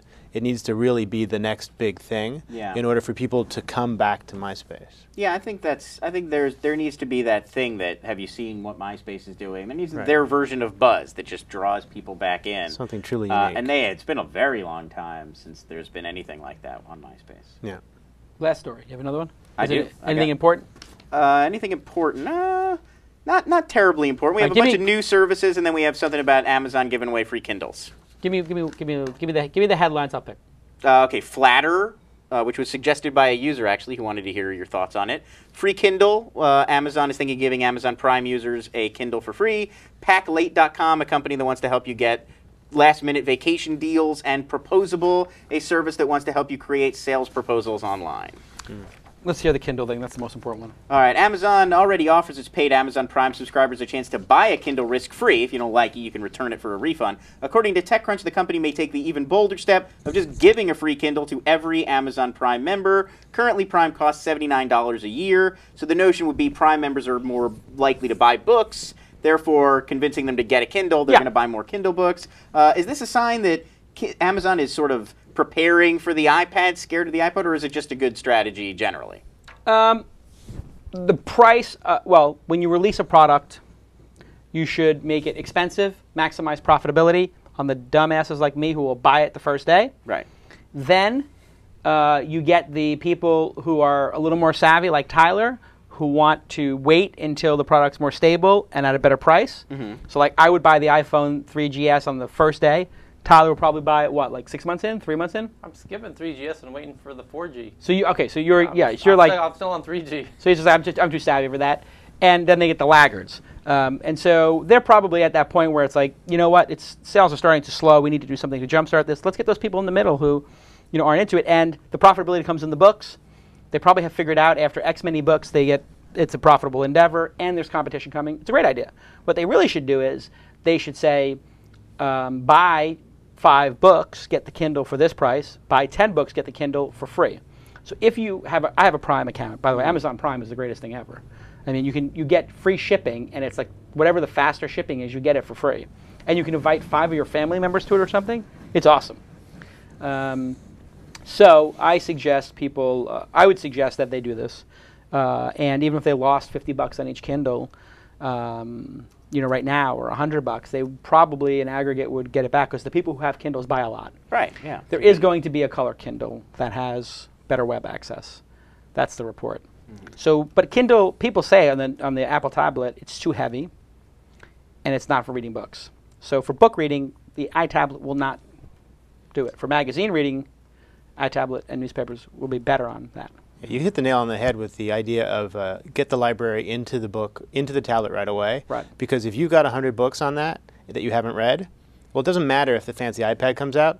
You got 100 books sitting here. You Yeah. got to read those, and you got to get That's through a good them. point, yeah. And so I think that that needs to be the incentive, and that's what they're missing. Because right now, if you give somebody something for nothing, well, that's what it's worth to them. Nothing. They're not going to open it. Right. And so I think that they'll just wait. Oh, I got a free Kindle. Maybe I'll use it every now and then, but I'm going to wait for the uh, you know the iPad, and I'm going to Right. use that. Yeah, then maybe that would be a better incentive and structure. Yeah, that definitely should. That's a good idea. Or I always thought that this is a subscription model thing like Audible. So I am an Audible member. I pay I think 15 bucks a month. So I pay 180 dollars a year at Audible. I get two audio books with my gold membership. They're not a sponsor of the show. They were a sponsor of the show. I'm sure they will be again. Um, but I've always loved that product, and I like to listen to audiobooks. If they said to me, Jason, get the platinum membership of Audible, which is I think 3 mm-hmm. books or four books, and we'll throw in a Kindle, and that's 30 bucks a month, and you have to have that for two years. That's another $300, of which they have to give half to the book publisher, 150 bucks. So sure, makes sense. They could get me if they if they said to me, we will give you one ebook, one ebook, two audiobooks, 25 bucks a month. I'm in. I'm in. There's a lot of people who are in. People like a subscription. I love that. Yeah. And it's a great thing to give as a gift. Yeah, if I can get a free ebook for every hundred dollars I spend, if I'm a Prime user, so if I'm just on Amazon and doing whatever, and then you know I earn a credit for an ebook because I spent hundred bucks buying Amazon products, that'll make me want to use the Kindle more because I'm going to build my library. yeah, you're gonna have more more to read on it. Okay. Uh, I love the domain noob is like, is Jason really scanning the chat without interrupting a stream of thought? Yes, I am. Um, Multitasking. it's called multitasking, but you do get the plus. Uh, this has been a great show. Uh, next week, Michael Robertson's going to be on. You may remember him from MP3.com. and he wow, also did Gizmo 5, which he sold to Google. He's in San Diego. He's a great guy. You know him? No, Really good, great entrepreneur. Uh, James, thank you for being on the program. pleasure. Uh, Edgecast, I know, is crushing it. You have a lot of job openings. We I do. understand. Yes, we do. You're hiring 10 people? Uh, we've actually we're going to have 25 to 30 people we're hiring in the next three months. So Wow. uh, careers at Edgecast. Wait a second. Wait, wait, wait. Hold on a second. you can't just drop that. I mean, not ask. Are you raising another round of funding? How do you pay for 25 more jobs? Uh, there'll probably be a growth round coming soon. Yeah. Growth round. Mm, I like it. Uh, when people say growth round, just for the fans at home, that means a big round. Like we're doing good, and maybe your growth round means you're going to acquire something. So we did talk a little bit before. But do you like to buy stuff, or do you just you're, you're, more like a building type company? I'm a builder, not a buyer. yeah. I I never like the buying thing. No. It's just too much of a pain in the ass. Integration. I just don't like wearing other people's clothes. You know, I like Yeah. to do it my own. You buy a house and you keep the sofa that they've been sitting on for two. Yeah, no. Oh, yucky. I moved into my house. The refrigerator. I was like, oh my god, get this refrigerator. I, I couldn't even. You can't use the other refrigerator. Ah, I mean, they OCD. emptied it out, OC. No, OCD. OCD. I'm just like still a about ham in it or anything. That. We lived with that refrigerator for a couple of months, Mm-hmm. and I would just got so OCD about it, imagining their food in there. And they, because they didn't keep the house clean. They didn't even like garden, and just think about the refrigerator, and there's probably like fungus on that food, and you like the, you have stuff with. Um, Well, it's like mold. yeah, it's true. and then you c- we clean it with what about the maybe there's mold in a crack. this is the last time I sell my house to you. Listen, James, I told you. Get that moldy fruit out of here. Uh, people thought it was pretty funny. No, I can't take. Oh, That's a little. That's a little obsessive with the knee with. You can't have your I- food where other people's food has been. I can't touch the. When I go into a hotel room now, Mm-hmm. and I want to watch television, I take a sheet, and I wrap the sheet around the remote control to press the button. You're gonna sleep in the bed. Pure. Purell. I don't know. I, and I do that too. I take Purell and I will drop Purell Yeah. right on the remote and my hands. Not enough. Big on the Purell. Not enough. Wow. I just don't want to touch it. I just I think like maybe somebody went to the bathroom and then they They probably did. I mean, and then they you're touch the remote wrong. control and they I I can tell you clearly because I'm a guy. Like guys, you go to the I'll go to like a Laker game, and you'll see some guy come out of the bathroom stall and walk right past the sinks. Just I'm done. Yeah. I'm getting back to the game. Movie theaters too, all the time. It's Oh. during the oh! movie, and people don't want to miss. Wash your hands. and then I watch other guys go and they wash their hands, and this and it's almost like they're doing it like there's some reverse OCD thing where they if they just go bang and wipe one hand on her like Yeah, that, and the then they try, I'm like that is- wash. the perfecting wash is even more irritating. Right. You got to press the button and get get it going for a little Give it a while. little it- I'm 30 seconds. I count 30, 29. Get in there. It's good. That's normal. yeah. It's normal. You are you are sick less than uh, most people I know. I will- never I get will sick. give you that. You're No, not, you don't get sick don't. very much. No. I, and what do I do when somebody gets sick and they come to this office? Yeah. It's we, with the hazmat team comes out. I tell people, You- you, you can't come back. You cannot. I've thrown people out of the office. They come in there. you throw me out of the office. yeah, you were sneezing and you're, you're next to me. What are you thinking? Sorry. But were you not sick? Oh, I, I I had a cold. I mean, I feel like I was past the contagious part of Which you know wha- how. Well, you know, when you have when you're sick for like two, three days, and then you're getting over it. You're getting over it, so you're you not. have no. You are not a doctor. No, no. You, you could quite possibly be infectious. You don't know that. You're making that up. That is just some wives' tale. I do not have a medical degree. That's Yes. So this is ever. Oh no, I'm over it. And you know what it is? I appreciate that people want to be warriors. You're a hardworking guy. You don't want to miss the show. You don't want to miss right, something that's going on. You're a leader. That's fine. But just stay home. And and then the other thing is people get sick and they don't go to the doctor. And if you go get that Z-Pak, Z-Pak, mm-hmm. Z-Pak, what is it called? You know- Z-Pak. Z-Pak. It costs nothing, and I'm paying for health insurance for everybody, and then they won't go get a Z-Pak. You get Z-Pak, you take it. It kills everything in your system. Everything. So if you had something you didn't know about, it's gone. And after two days, three days with that, you're fine. I went to the World Series of Poker. There you have 3,000, 4,000 people playing per day who are poker players, which are the dirtiest people you've ever seen in your life, by and large, all touching the same chips.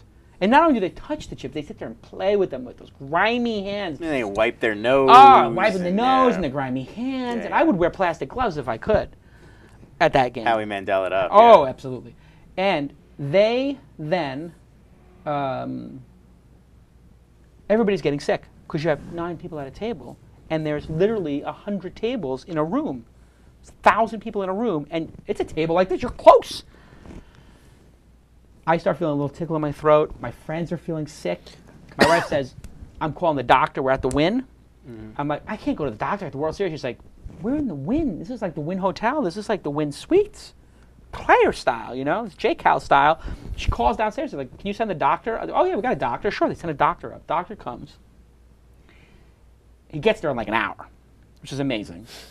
He takes my blood pressure. I gotta do a, I gotta do a workup on you. Takes my blood pressure, takes my pulse, temperature. He's like, "Yep," gives me a Z-Pak. Then he says, "Is there anything else I can get you?" That's, that's some, say, this is some a- kind of service. this is Las Vegas. so I think for a second, and I'm like, Hmm. what if I can't sleep? So I'm like, Ambien? So he's like, yeah, sure, here's, some, here's 10 Ambiens. So I was like, great. I still have the 10 Ambiens. I keep in my bag. I, Right, I- yeah. only time I use Ambien is I'm like rebooting, going to a different country. But um, I'm fine. One of my friends, two of my friends, got so sick that they had their eyes tearing. They were sick for weeks. This is a public service announcement from your friends at This Week in Startups. If you are sick, take a Z-Pak, go to the doctor. Uh, thank you to our sponsors, uh, Bing Bing Bing. Uh, thank you to uh, Joel Spolsky for calling in. That was a treat. Everybody go check on Joel on Software. Thanks to DNA Mail, uh, DNA Mail, DNA Mail. Everybody loves DNA Mail. Thanks to Rob of Babelflix. Thank you, Sean of There Now. Two really great call-ins, didn't you think, Tyler? Yeah. Tyler, you distracted today or something? Is, this, were- is the show not a priority today for you? I have my, my back is tweaked. Like I have you noticed I I'm not even sitting right. No, I know. In most episodes, you're running all Yeah, around no, the but I have a headache and I something's wrong, right? yeah.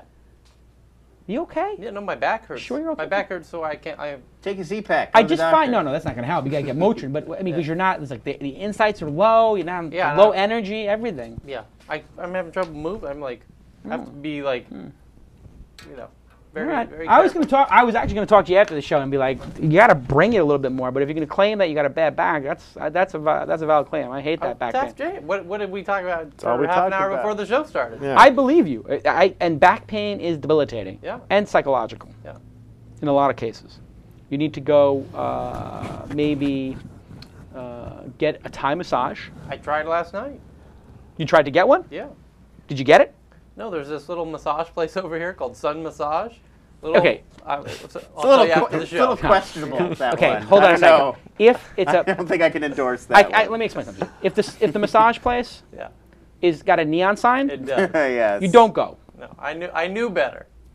There, there is is a Thai massage place in Westwood. There's a couple of them that are like 60 bucks for an hour and a half. It's unbelievably cheap, and they are incredible. And then some tea, and some sleep, and a lot of water, and, uh, and a bunch of Motrins. You'll be fine. But I was going to talk to him after the show because it's noticeable, right? Uh, you know, it still has some good insights. I think this But it week was- it was better like than 60 last week. But last week he wasn't even a little. You know, you can tell that he's not at at peak. You can tell this is not peak. peak Tyler. Uh, Web Spy, Web Spy, give it a try. Love those guys. Uh, thank you to Web Spy for sponsoring the show. James, thank you. Edgecast is hiring a lot of people. 30 and the best way for them to do that is what? Jobs at Edgecast? Careers at edgecast.com. Careers at edgecast.com. Email, uh, just put twist or this week in startups in the subject line so they know that you're a super fan. Yep. And um, Power VPS, thank you again. Uh, right after the show is This Week in Android. What we're going to try to do here is, just so people know on the thisweekin.com, thisweekin.com will have a website. It's going to have all the This weekend shows. I cleared this with Leo Laporte of This Week in Tech, so don't start trouble. Uh, yeah, a couple people DM'd me on oh Twitter. Oh my God, it's like, Jason. da, da, da. I'm telling Leo, you guys are stealing his format. Leo said, Mazel Tov, go do it. I can't do every This Weekend show. There's plenty of other people using that format. We bought the domain name This Week Went in. We're going to syndicate his show to our network. He'll syndicate ours. Oh, that's very nice. My hope is that we can, when we sell advertising for these shows, we can sell into him, and vice versa, because he's got such massive distribution. Maybe he's got a slot open. We can help sell it. Um, and so we'll have this week in Twitter, this week in startups, this week in Android. Those three have already launched. You can Yes, and they're doing well. right now. Then after that, we're going to do another show. I think we do this week in cloud computing. That's next, next up. Yeah. I think. Uh, and so we're going to just keep adding these shows, and we're going to try to make Friday the like sort of block of tech shows, just tons of tech shows. And then Sunday, when Kevin Pollak has his shows, that might be the block of entertainment shows. So you could imagine if this weekend something that's entertainment related. We'll get to that later. That could be Sunday. Right. So you could have two shows leading into Kevin Pollak's amazing show. It'd Be interesting, right? I think it's yeah. So if you have ideas like a this- network feeling. you Yeah, know. somebody says, uh, yeah. So anyway, you, the people in the chat room, yes, you have a good idea. What shirt is Jason wearing? Everybody just said that over and Oh, over again. I right, will tell you, this is the Mahalo Fit Club shirt. Every uh, Monday, Wednesday, and Friday, uh, we have Mahalo Fit Club, which is done by Jeff here, who's a developer, and we do uh, CrossFit training. And and it's you can see here my warriors at Mahalo. These guys are maniacs. Um, You selling those online? you can only get this if you complete five fit clubs. Hmm.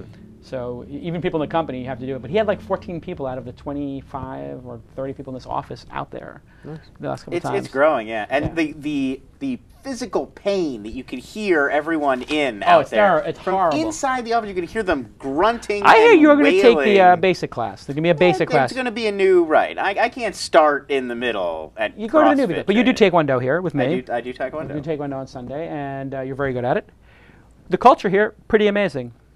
Uh, yeah, it's uh, Oh. it's definitely a high. community sort of vibe here now. That, that I think for the first time, really ever. Really tight, yeah. And it, it's almost cult-like.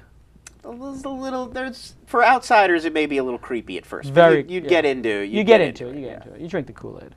It's really good, actually. I'm going to do a show on culture documents, and right? Because I was talking to people about culture and Mm-hmm. Tony Hsieh and everything like that. Do you have a culture document at your company, James? No, we don't, but it's actually something that we've been talking Yeah. about uh, how to articulate our culture Right. within the company. I'll, sh- I'll share with what, what we did. It's pretty cool. Uh, you, you guys are actually doing some very cool things here. I just took a tour around before I came. Oh, good. Yeah, yeah. Yeah, and I saw some of the perks, and uh, yeah. Perks are very big here. You Yeah. spend four thousand dollars per employee on like not health benefits, things above and beyond. no, I mean, I, you tell people what you you should. We tell them when they come to go for a job interview is breakfast, lunch, three o'clock we bring a fruit bowl with nuts to your desk. Five o'clock we bring a cheese, Cheese meat cheese, Yeah. meat, vegetable plate. Five o'clock. And the reason I do those three and five o'clocks is because I get so hungry, and I'm working and writing, and then I don't get up, and then I get ravenously hungry, and then it's a disaster. And the uh, laundry. I mean, Oh, and then we have laundry. So you bring your laundry in, and the laundry's done and given back to you. car service. Car wash Car wash every six car weeks. wash every six weeks. Gym. And then we have the gym stuff, and then we're going to have haircuts. So for Tyler, really, No time excited. massage. No time massage. Where is that? Yeah, where's the time massage? I don't want to be gratuitous. He's got a chef. Uh, just what are the VCs thinking? Yeah. what are the investors in this company minute. Think? the only thing they think, I'll be totally honest, if your traffic is good and revenue is good, which it is in Mahalo's case, uh, knock on wood, um, nobody cares. If things are not going well and you're doing that kind of stuff, you look like an idiot. That's why I waited till everything was good and started adding that kind of stuff. Yep. It's better. It's That appropriate. makes sense. Yeah. Anyway, James, stuff. thanks for being on the show. Uh, we'll see you all next week when our guest is Michael Robertson, an amazing entrepreneur. And make sure you read this week in startups.com when Scott Simcoe is doing all the superfan posts. He's doing like five posts a week, and they're awesome. And get involved in the comments. The people who get involved in the comments, we get to know, which is awesome. This week in Android coming up next. Stay tuned. Spiked out, I could trip a referee. Tell by my attitude that I most definitely from.